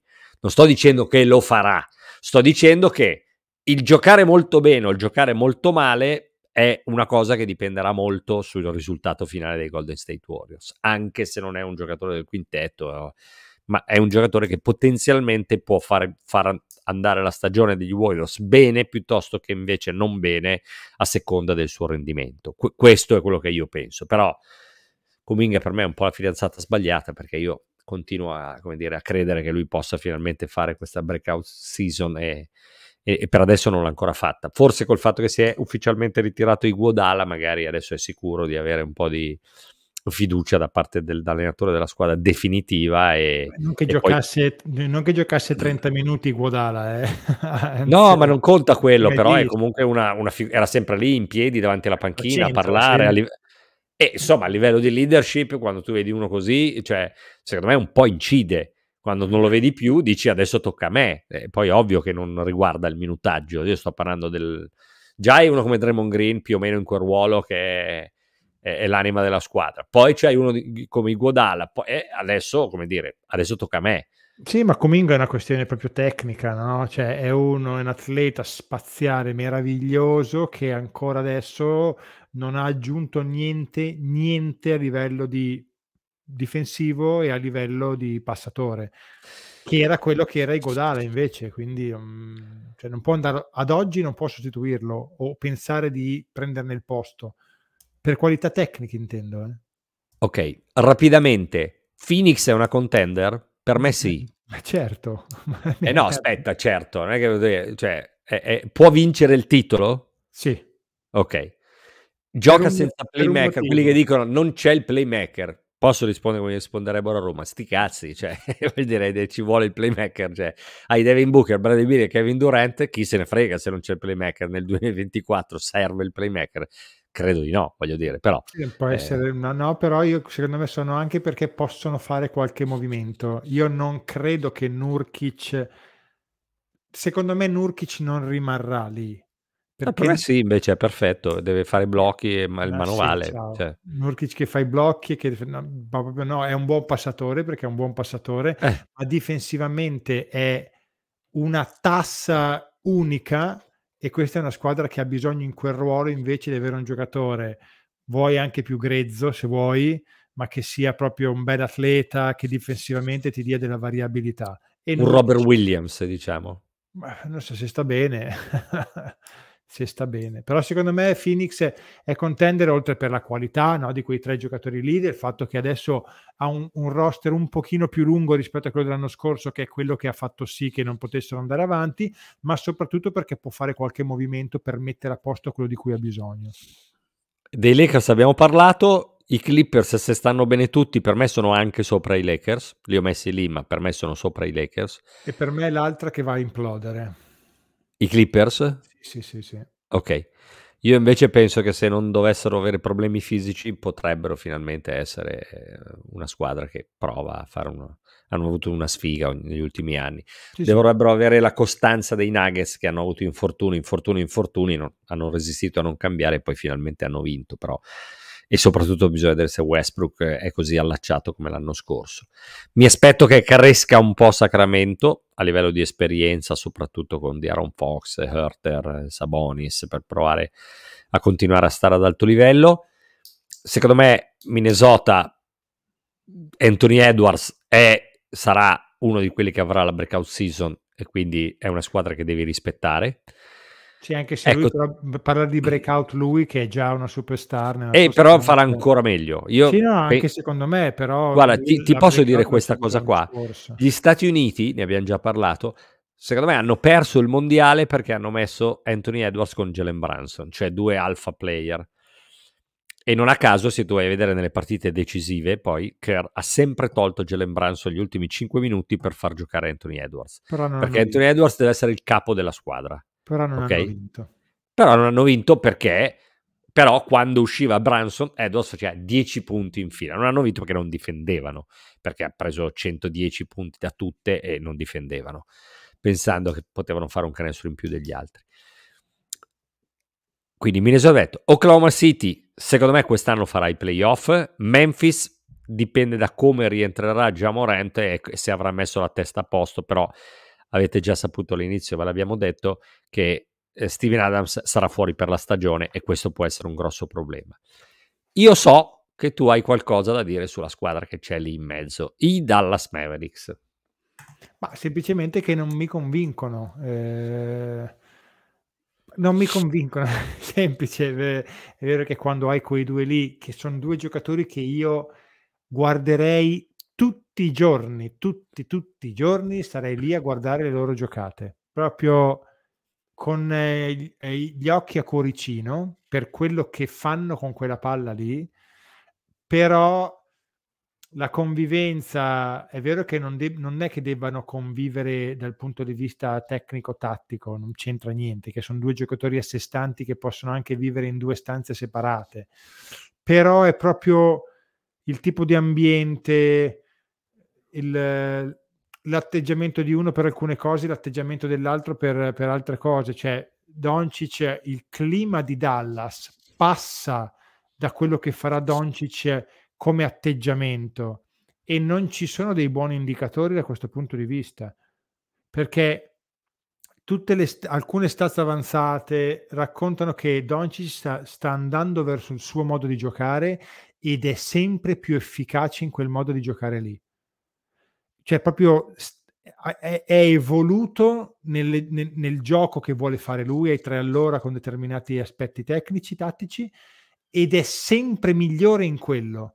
Però poi dal punto di vista, cioè non ha la stessa progressione dal punto di vista dell'approccio, che è sempre più insopportabile. E questo rischia di essere veramente anche un fattore importante nella, in quell'ambiente lì. Io l'ho visto a Manila quando la squadra è arrivata dopo essersi qualificata per la fase finale. Era insopportabile. Cioè, poi lo, lo vedevi probabilmente anche dalle immagini in televisione, ma, ma io vedendolo lì ero tra l'altro spesso seduto vicino alla sua panchina. Cioè, cazzi a tutti i compagni, l'allenatore, c'ha sempre qualcosa da dire, parla con gli arbitri ogni secondo, cioè spende una marea di energie in cose che non riguardano la pallacanestro giocata che secondo me è, è deleteria per lui, ma deleteria, deleteria. Infatti, infatti ti sto dicendo queste cose qui. È una roba incredibile, però vabbè, vediamo, perché comunque poi hai sempre Cari Irving e Luca Doncic, un po' la costruzione della squadra attorno potrebbe. Houston sono molto curioso di vederla con Udoka, e comunque è una squadra di banditi, eh, sap- sapete anche delle vicende di Green, eh, scambiato poi via Oklahoma City, tagliato perché la combinata grossa, ma tra poco arriviamo ai mal di pancia della Lega. Porter Junior, però hai detto Green. Scusami, Porter Junior volevo dire. E... New Orleans, secondo me, è una squadra che potenzialmente può implodere, dipende da come sta Zion Williamson e che cosa ha nella testa eh, Zion Williamson. Potenzialmente possono essere anche una squadra solida perché hanno dei, dei giocatori complementari di alto livello, buoni, che sarebbero perfetti in qualsiasi squadra che punta ad essere di alto livello con dei leader. Non lo so, non lo so come sta Zion, cosa ha nella testa Zion. Eh, vediamo se è allacciato, committed con New Orleans e vuole dimostrare a tutti di essere forte, probabilmente passa anche al tier di là. Se invece pensa, fa, diventa un Anthony Davis 2 che fra un po' comincia a scioperare perché dice no ma io adesso voglio andare a Los Angeles è un'altra roba. E, e San Antonio stessa cosa perché secondo me Wembanyama è uno che veramente non sai dove ti può portare. Forse è troppo solo e il supporto in cast non è così adeguato però vale da solo 10 vittorie Wembanyama mm, non lo, non lo so anch'io l'avrei messo lì come l'hai messo tu non so se Wembanyama deciderà già per, per quelle partite lì, boh, forse probabilmente sì, eh, per, per, quello che, per, quello che, farà, magari anche proprio difensivamente, chi lo sa. A me Houston mi interessa con, con, con Udoka, sono molto d'accordo con te. Eh, I Pelicans io li avrei anche messi nell'altra tier, eh, mm. onestamente. Al posto eh, di Dallas. Non so se Dallas, però Memphis adesso è vero che è arrivato un, un, un, un uomo che può dare una direzione da un certo punto di vista, se parliamo di Marcus Smart, eh, però New Orleans... E Derrick Rose, eh, ricordiamo che c'è anche sì. Derrick Rose, chiamati apposta per fare Beh, la certo, chiocce a, a quello là. Ovviamente, però New Orleans quando era al completo l'anno scorso, ricordiamo che dicevamo che era una squadra che aveva, era bella profonda, che aveva ruoli, che aveva atletismo, che aveva stazza. Certo che se si fa male Zion e non c'è, è proprio Sì, un discorso. è, ve- è vero, anche se non so, poi senza Zion, come dici tu, è- mi sembra che non so, qualcosa si, sia un po' rotto alla fine, non, non lo so, è, è Lo da so. capire. È da capire, però potenzialmente sono in- abbastanza indecifrabili.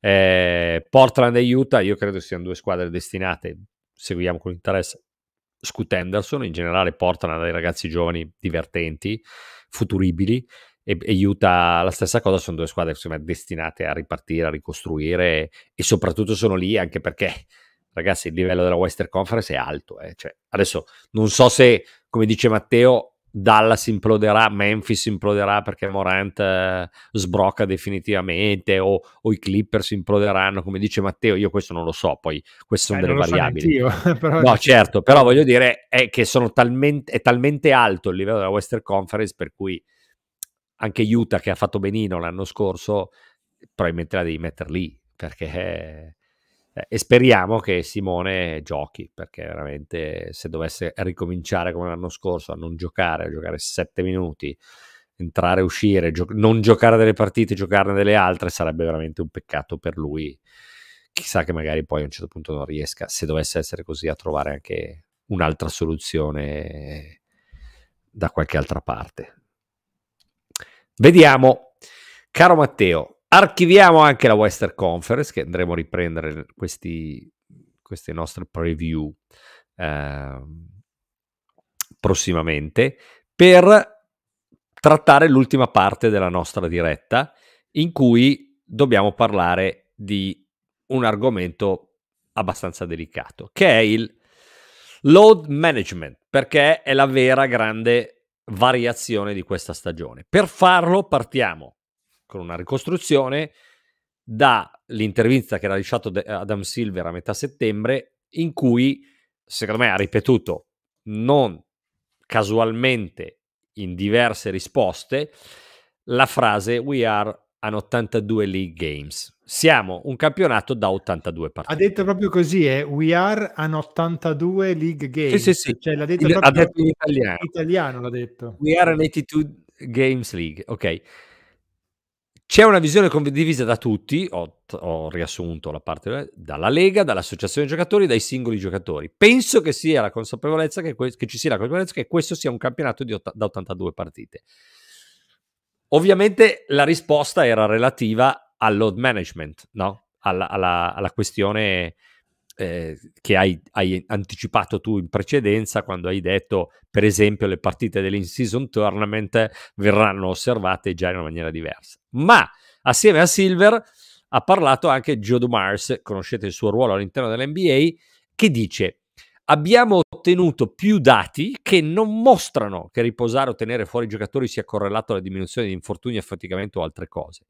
Ovviamente non tutti giocheranno 82 partite, ma tutti dovrebbero volerle giocare. Allora, sulla carta il tema sono le 82 partite, il load management. A me fanno ridere quelli che, eh, ma avete adesso, secondo voi, ma vi hanno preso per il culo per tutti questi anni, ma era chiaro che non era così? No, no, lasciali guardare, lasciali studiare se il riposo funziona o no e dopo quando hanno i dati in mano possono eventualmente dimostrare più o meno questo. Peraltro a me vengono sempre in mente, non so, Michael Jordan, Larry Burr, Magic Johnson, quelli di quell'epoca che potrebbero alzare la mano e dire scusate ma noi giocavamo sempre 82 partite, non avevamo le vasche con l'acqua gelata, la crioterapia, i laser, le scarpe che avete voi, i charter privati, non abbiamo niente di due, però giocavamo 82 partite e non rompevamo i coglioni a nessuno. Però questa è ovviamente una battuta.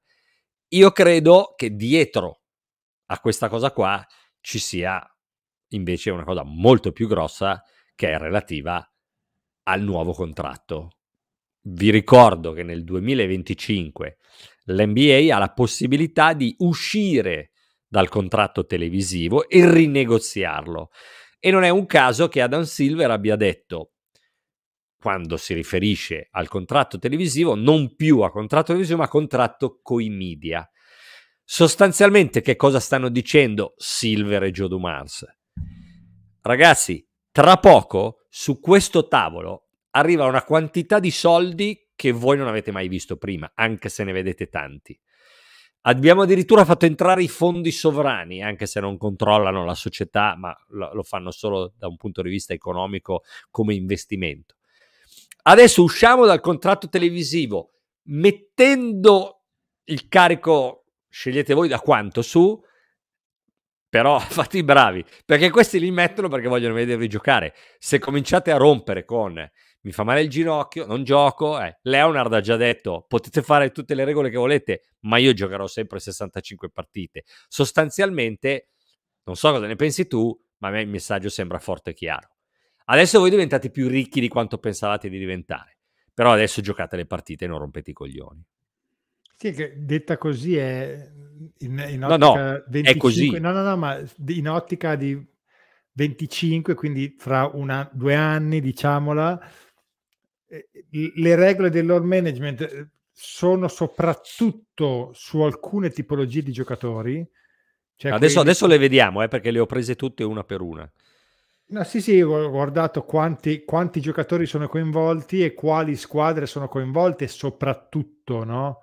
E, e non sono poi tantissime le squadre coinvolte e soprattutto i giocatori con le eccezioni non sono, non sono tantissime. Secondo me non è che cambierà poi così tanto, eh? Devo essere sincero. Cioè, che secondo te non giocano lo stesso? In che senso eh, non cambierà? No, vabbè, allora, a parte che ci saranno le multe, ok? Però... Sì. Forse. Eh, no, vabbè, ci sono. Eh, dopo la prima 100.000 dollari, dopo la seconda volta 250.000 dollari, poi piano piano diventa un milione di dollari e continuerà ad aumentare. Eh, però insomma l'idea è quella, è ovvio che come, dite, come dici tu, no, basta, avete rotto le palle, poi do- devono, eh, no, rotto le palle è scorretto da dire, perché comunque il, la gestione del corpo e del carico è una cosa estremamente importante che ma ho capito sempre... Matteo, ma perché Michael Jordan nell'anno delle 72 vittorie può giocare 82 partite. Perché Poi ovviamente me... Jordan non ha giocato il numero di stagioni che ha giocato LeBron James eh, e, e, questo è il motivo per cui poi, vabbè, poi eh. LeBron è anche uno di quelli che ha giocato di più, per carità.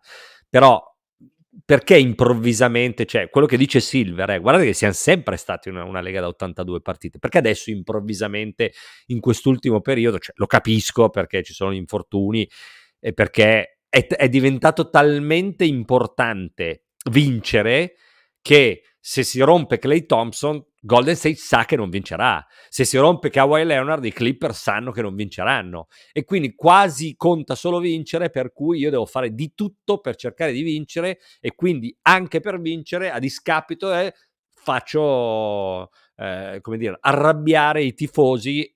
Poi adesso vedremo le regole quelli magari che vengono apposta a vedermi quando sono in trasferta perché è l'unica volta in cui possono vedermi giocare, ma per me è più importante vincere. Uomo, il, il, la pallacanestro è cambiata rispetto al rispetto ad adesso, cioè la richiesta atletica è cambiata. È vero che c'è più fisioterapia. Sono cambiati anche i corpi, eh. Sono, cioè. sono cambiati i corpi, però in ogni caso i, tempi, cioè, il corpo umano, quello è fatto, sta evolvendo, ovviamente, sta evolvendo, ci mancherebbe altro, però, guarda, vado a vedere adesso, 97-98, mm. la squadra che correva di più erano i Boston Celtics, che andavano a un pace di 94-90. Mm. Ok? Chicago, te la vado a prendere, perdoni che devo andare a guardare live, andava a 90.3 Okay? La Chicago campione NBA. 90.3. Sì. L'anno scorso la squadra che ha corso di meno di tutte è andata a 96. Cioè, stiamo parlando di proprio un ritmo diverso. Poi c'è un'attenzione particolare perché ancora di più sono poi tu hai preso Michael Jordan prendi Larry Bird prendi Magic Johnson ma adesso però ci sono più giocatori faccia della Lega e quindi e faccia della franchigia e ci sono è brutto da dire diciamo, cioè, però è così c'è un, un giro di soldi diverso e quindi è un patrimonio che se vuoi preservarlo puoi usare anche quei metodi lì. Poi c'è la gestione dello staff, dello staff eh, tecnico, scusatemi, atletico, dello staff medico che deve cercare che ha dei dati che una volta non c'erano. È, è proprio un mondo diverso. Io, cioè, io eh, rimango informato rispetto a quelle che sono le tendenze degli staff, dei preparatori atletici, dei responsabili della performance e, e hanno dei dati che devono tenere in, in considerazione e che hanno eh, l, si accende la spia quando un giocatore rispetto ai suoi dati eh, che vengono presi in considerazione è a rischio infortunio, che non vuol dire che sicuramente si farà male, ma adesso si tende ad andare ad essere molt- più conservativi rispetto al passato, ok? È proprio una, una, anche una richiesta atletica diversa, dei, dei, dei, dei movimenti diversi. Se tu vai a guardare quello che facevano nel 92 o nel 98, ma cioè, non è nemmeno paragonabile agli spostamenti che fanno adesso. E non è che in 25 anni la razza umana è cambiata eh, fisicamente, atleticamente, tendini e, e, legamenti e muscoli, cioè non è che c'è, c'è, stata l'evoluzione della specie che è cambiato qualcosa rispetto a come è cambiata la pallacanestro, sto facendo un paragone, cioè i movimenti che si fanno adesso non, non, non c'entrano niente con quelli che si facevano 30 anni fa. Eh. Sì, sì, no, ho, ho, capito quello che dici, ribadisco che era, eh, come dire, cioè i Lakers dell'87, quelli dello Showtime, non è che andassero tanto piano, no? Voglio dire, però... Eh... Sì, secondo me non, non, c'è il dato, purtroppo non c'è il dato dell'87 per andare a guardare il pace. No, ma c'è, c'è, adesso poi lo, lo recupereremo, poi si, si, può fare. Però eh, sì, c'è, c'è, c'è, c'è, l'ho trovato io su, su Basketball Reference, andavano 101 e 6. 101 e 6. I Lakers. Sì, dello Showtime. 101 e 6 e in quell'anno Magic giocava 80 partite, cioè, quindi è ovvio che se vai a vedere probabilmente gli anni, quelli lì dei Chicago Bulls, andavano, camminavano, eh. però vabbè, il, il, il, concetto è che alla fine il, il concetto è questo, no? Dove tu, il messaggio che stanno mandando Silver e Dumars è guardate che adesso qua sul tavolo arrivano questi soldi e quindi dovete cercare sì, sì. di giocare perché questi pagano per vedere giocare voi, non per vedere, per vedere giocare Leonard, LeBron, Curry, con tutto rispetto per quelli che escono dalla panchina. Facciamo un recap rapido perché Matteo ha detto che ci sono eh, delle policy e le vediamo un attimo rapidamente su quelle del perché sapete che c'è la cosiddetta player participation policy che è subentrata. Già l'anno scorso c'era stata la, eh, cioè già non l'anno scorso, hanno cominciato a introdurre la soglia minima di partite, 65 su 82 da disputare per poter ambire a uno dei premi stagionali dell'NBA, tipo MVP, miglior difensore, giocatore più migliorato o all'inclusione dei migliori quintetti fine campionato. Perché questo è importante?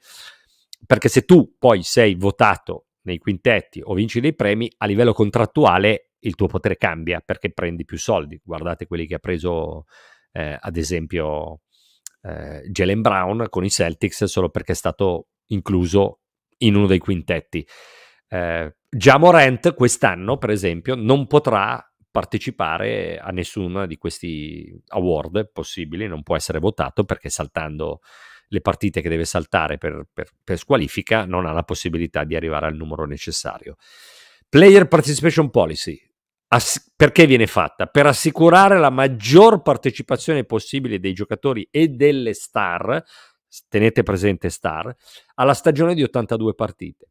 Minimizzare l'assenza contemporanea delle star NBA di una stessa squadra nella stessa partita. Dare priorità alle gare trasmesse in TV nazionale a quelle del, quelle che diceva Matteo, l'in-season tournament appena introdotto. Quindi, per esempio, quelli dice, noi abbiamo fatto la coppa, adesso voi durante la coppa fate giocate. la cortesia, giocate perché eh, vogliamo vedervi. Ancora, la Lega definisce star player, così ci capiamo, il giocatore che negli ultimi tre anni abbia ricevuto almeno una convocazione allo Star Game o che sia stato incluso in uno dei quintetti NBA. Infortuni comprovati esclusi, ogni squadra deve assicurare di non rendere mai indisponibili più di uno star player a partita. Cioè un giocatore che abbia almeno una condizione dello star game o che sia stato incluso in uno dei quintetti o l'NBA.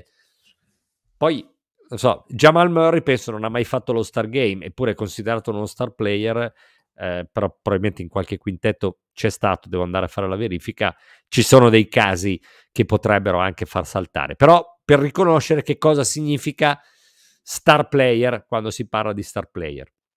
Andiamo avanti, parecchia roba. I back to back, come vengono trattati, che sono quelli più pericolosi per eh, la, la, il fisico dei giocatori? La Lega può accogliere il riposo di una star se comunicato con almeno una settimana di anticipo, quando il giocatore in questione soddisfa una di queste condizioni.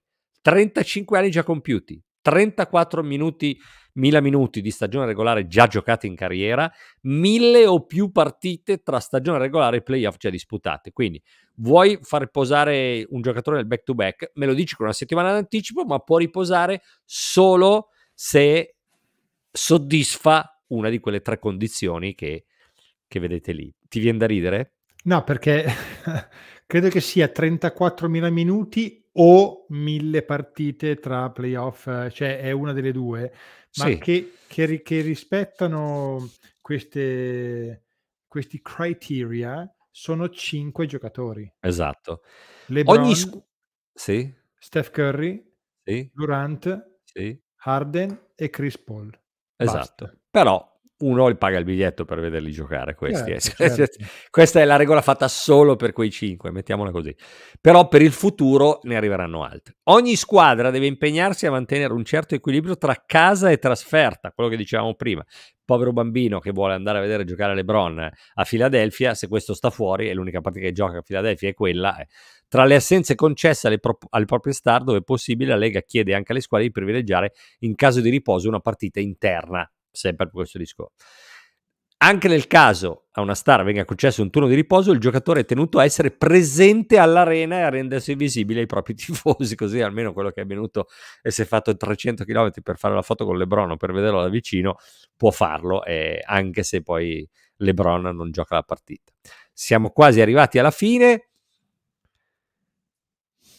È e resta a, descrizio- a discrezione, ho sbagliato, è scritto a discrezione, dello staff medico della squadra designare un giocatore come infortunato, ma con la nuova Player Participation Policy la Lega ha il diritto di investigare l'assunto anche attraverso un esame medico indipendente. Qui secondo me si va un po' oltre, però che possa determinare la disponibilità o meno del giocatore. Quindi questo già lo voglio vedere con i miei occhi che la Lega mandi un medico. No, no, voglio vedere se Curry è realmente infortunato, mi faccia vedere le lastre, però è un modo per mettergli pressione così.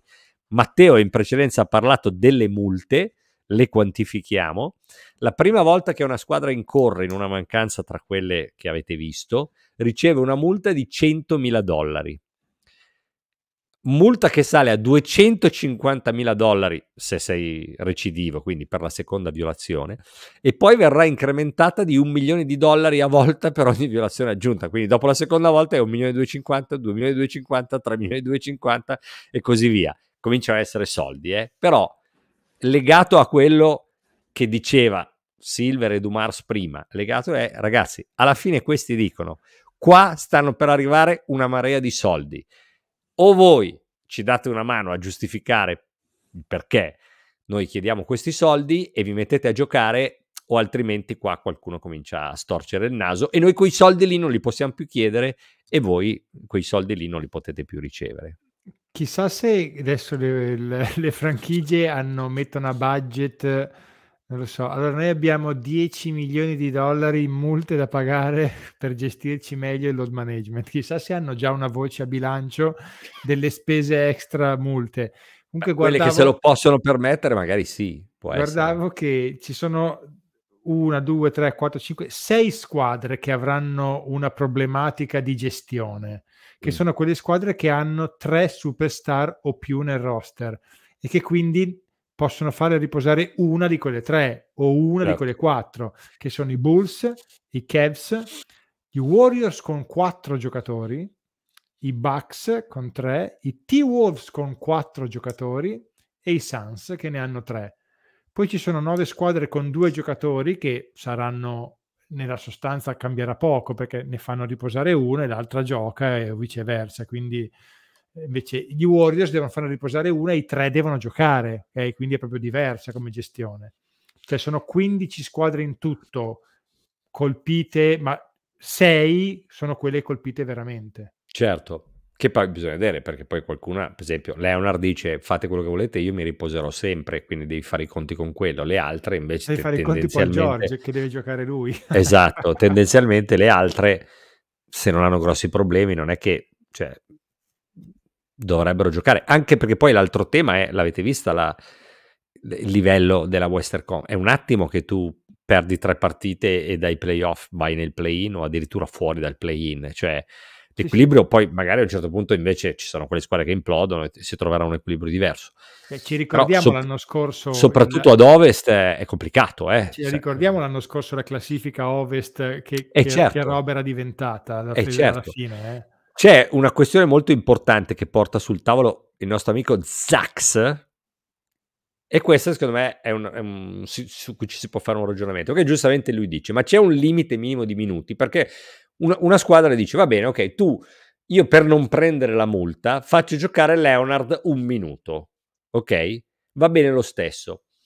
Allora, teoricamente andrebbe bene lo stesso, ma qua entriamo con l'altra questione, perché siccome questi sono star player, poi probabilmente a Leonard di giocare un minuto non gli frega niente perché questo è uno che non prova emozioni e dice vabbè, devo, de, per non farti pagare devo giocare un minuto, gioco un minuto, entro, fa, cos'è che era successo con Drew Holiday l'anno scorso che per fargli fare un, 250.000 250 sì, dollari di 250 dollari perché doveva rispettare una roba di, di, del numero di partite del contratto, è entrato, ha giocato un'azione, ha fatto fallo, è uscito.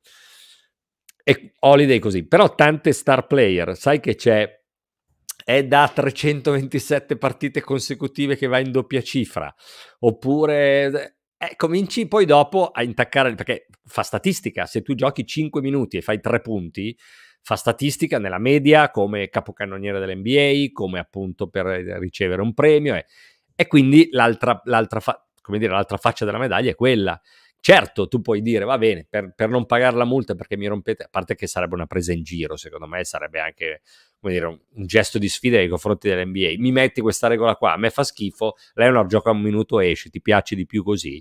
Eh, però poi c'è la parte dei giocatori che hanno un certo tipo di ego che poi appunto vanno a intaccare numeri, statistiche, pedigree, curriculum, tutto quello che vuoi. Come la vedi tu questa come eh, soluzione? Eh, sai che adesso io non ho un flash, ma mi sembrava sì. una volta di aver visto eh, che mh, che ci fosse un minimo di, non, so, non mi ricordo se era 25 minuti, adesso non so perché ho un flash nel vedere questa cosa, eh, questa cosa qui. E...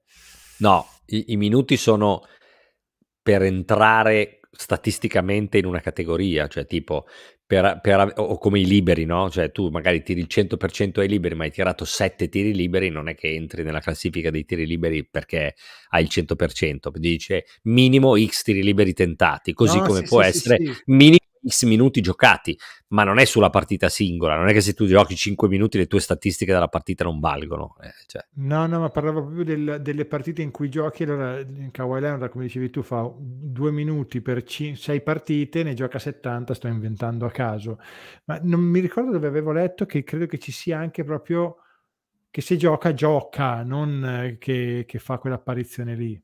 Eh, ma quello è discrezione dell'allenatore, come fa a giocare uno 5 minuti perché non è abbastanza forte, in quel momento della partita Però, può far giocare. È ovvio che nel caso di Leonard lo farebbe giocare 5 eh, minuti per il load management, appunto, ma non è, che, non è, che, puoi impedirgli di farlo. Cioè. Ma io credo che per, far, per rientrare nel, nella casistica delle 65 partite le 65 partite devono avere un minutaggio superiore, credo, ai 25 minuti. Credo che sia una roba del genere. Adesso devo andare Tutte e 65? Devo andare a cercare. Devo andare a cercare. Mi sembra strano. Cioè, secondo me sarà la media minuti che deve essere almeno un totale. Devo andare a cercare. Ho avuto un abbaglio, altrimenti Vabbè, lo cercherò. Vai, lo cercherò. vai a cercare e faccelo sapere. Siamo in con... Però, con questo rutto qua che hai fatto adesso. No, non ho rutta. Hai sentito un rutto? Eh, se, no. Ho avuto un problema di deglutizione, ma non ho... il rutto è un'altra roba, eh, fa rumore. Allora, le bombe di fine diretta. Vai. Una a testa. Partiamo da breakout season. Chi farà secondo te la breakout season? So se... Kate Cunningham, che l'avevo già detto prima. Ci sta.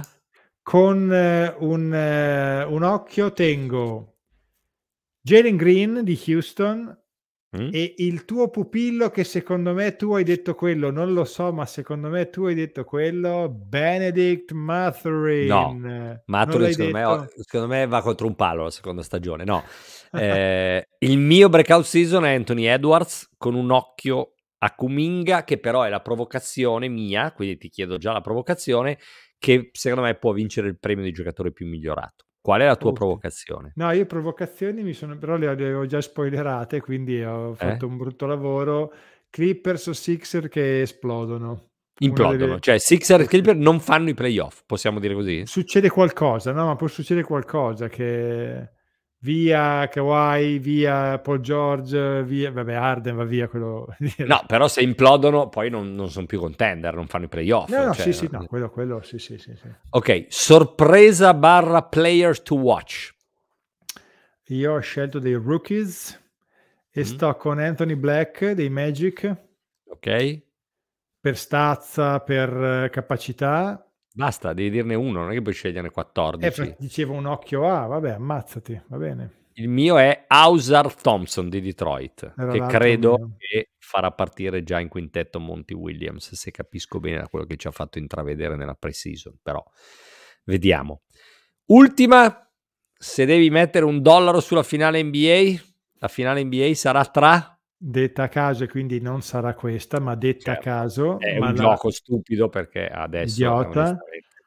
A me viene da dire Phoenix-Boston, ma per i motivi di cui parlavo prima, cioè che possono cambiare qualcosa e potendo cambiare qualcosa possono mettere a posto. Boston è quella che più, con più difficoltà perché a parte i 5 poi è la disperazione totale, soprattutto reparto, chiamiamoli lunghi. Va bene, io voglio, per quello che ho detto di Kuminga, per quello è, voglio dare una chance ancora a Golden State. Per me sarà il remake della finale del 2002, Golden State contro Boston. Va bene. Succederanno talmente tante cose che purtroppo questi... Vabbè, prenderemo questi pronostici del 22 ottobre ci metteremo Ripeto che come te io sono estremamente affascinato da quelli che hanno la sicumera eh, sì, di eh, dire sì. ma non capite un cazzo, ma tanto succede quello, ma non capisci niente, ma vai a fanculo, cosa ne sai tu, eh? rimango sempre molto affascinato da quelli esatto. che hanno quell'atteggiamento. Che lì. poi il fatto che non capiamo niente è anche abbastanza vero, voglio dire. Tra l'altro, non, tra non, l'altro. Possiamo, non possiamo assolutamente contraddirli. Senti Matteo, allora questa è stata la nostra ultima puntata su Twitch di Area 52. Il canale per adesso resta, ma dalla prossima settimana, adesso decideremo, potremmo non avere il giorno fisso, perché poi una volta eh, finendo su, su YouTube, poi la trovate lì, seguite il canale YouTube, eh, già finita la diretta è già a disposizione, non che non lo sia qua, però probabilmente YouTube è molto più fruibile come piattaforma e quindi il motivo che il motivo per cui eh, abbiamo deciso di spostarci anche di lì. Confermiamo che non ci sarà il podcast, ci sono in cantiere delle possibili sorprese, ma che non dipendono solo da noi. Quindi potrebbe esserci anche una sorta di evoluzione di Area 52, ma in questo momento non siamo in grado di confermarvelo, di dirvelo. Niente, le uniche certezze sono che ci troverete sul canale YouTube di Area 52 una volta alla settimana a parlare di NBA e che ci trovate su Sky Sport.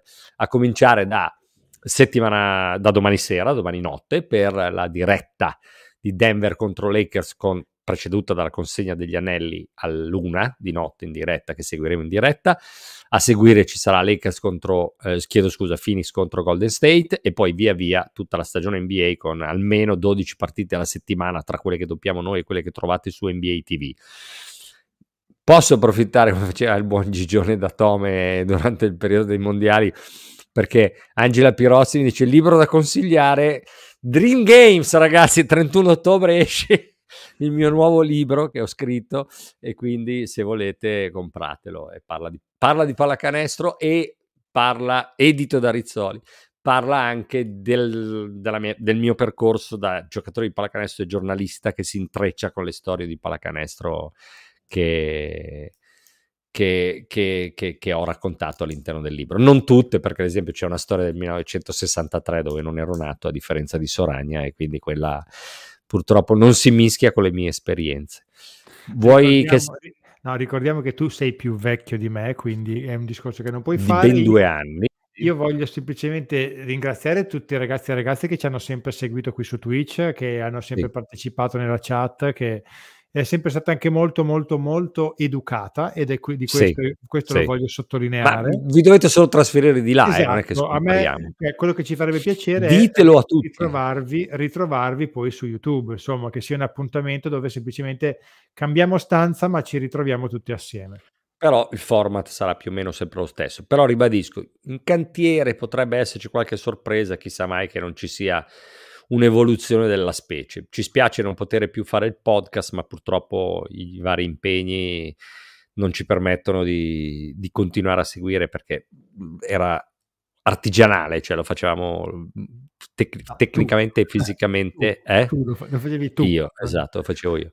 Eh, però ci saremo, ci saremo e soprattutto seguite Sky Sport perché lì saremo invece molto presenti come al solito tutti i giorni con l'appuntamento con Basket Room alle 16.45 Sky Sport 24 poi il canale NBA e soprattutto le telecronache perché le telecronache all'interno di quelle due ore in cui noi parliamo quelle sono fonte di discussione, di analisi, di dibattito delle squadre che commentiamo ma in generale anche della NBA quindi no, non c'è il codice sconto Mamo 73 per il libro però, però invece questo lo dico, se qualcuno vuole organizzare in giro per l'Italia delle presentazioni, quello sì, sto... scrivetemi in direct, come dicono quelli bravi, su Instagram, vi metto contatto, in contatto con la responsabile di Rizzoli per le presentazioni. Ecco, questa è una cosa invece che farò e che mi piace fare molto, girare per l'Italia, non tanto per presentare il libro, ma per incontrare tante persone che amano la pallacanestro. Il libro è un pretesto per poi sedersi e parlare di pallacanestro. Quindi...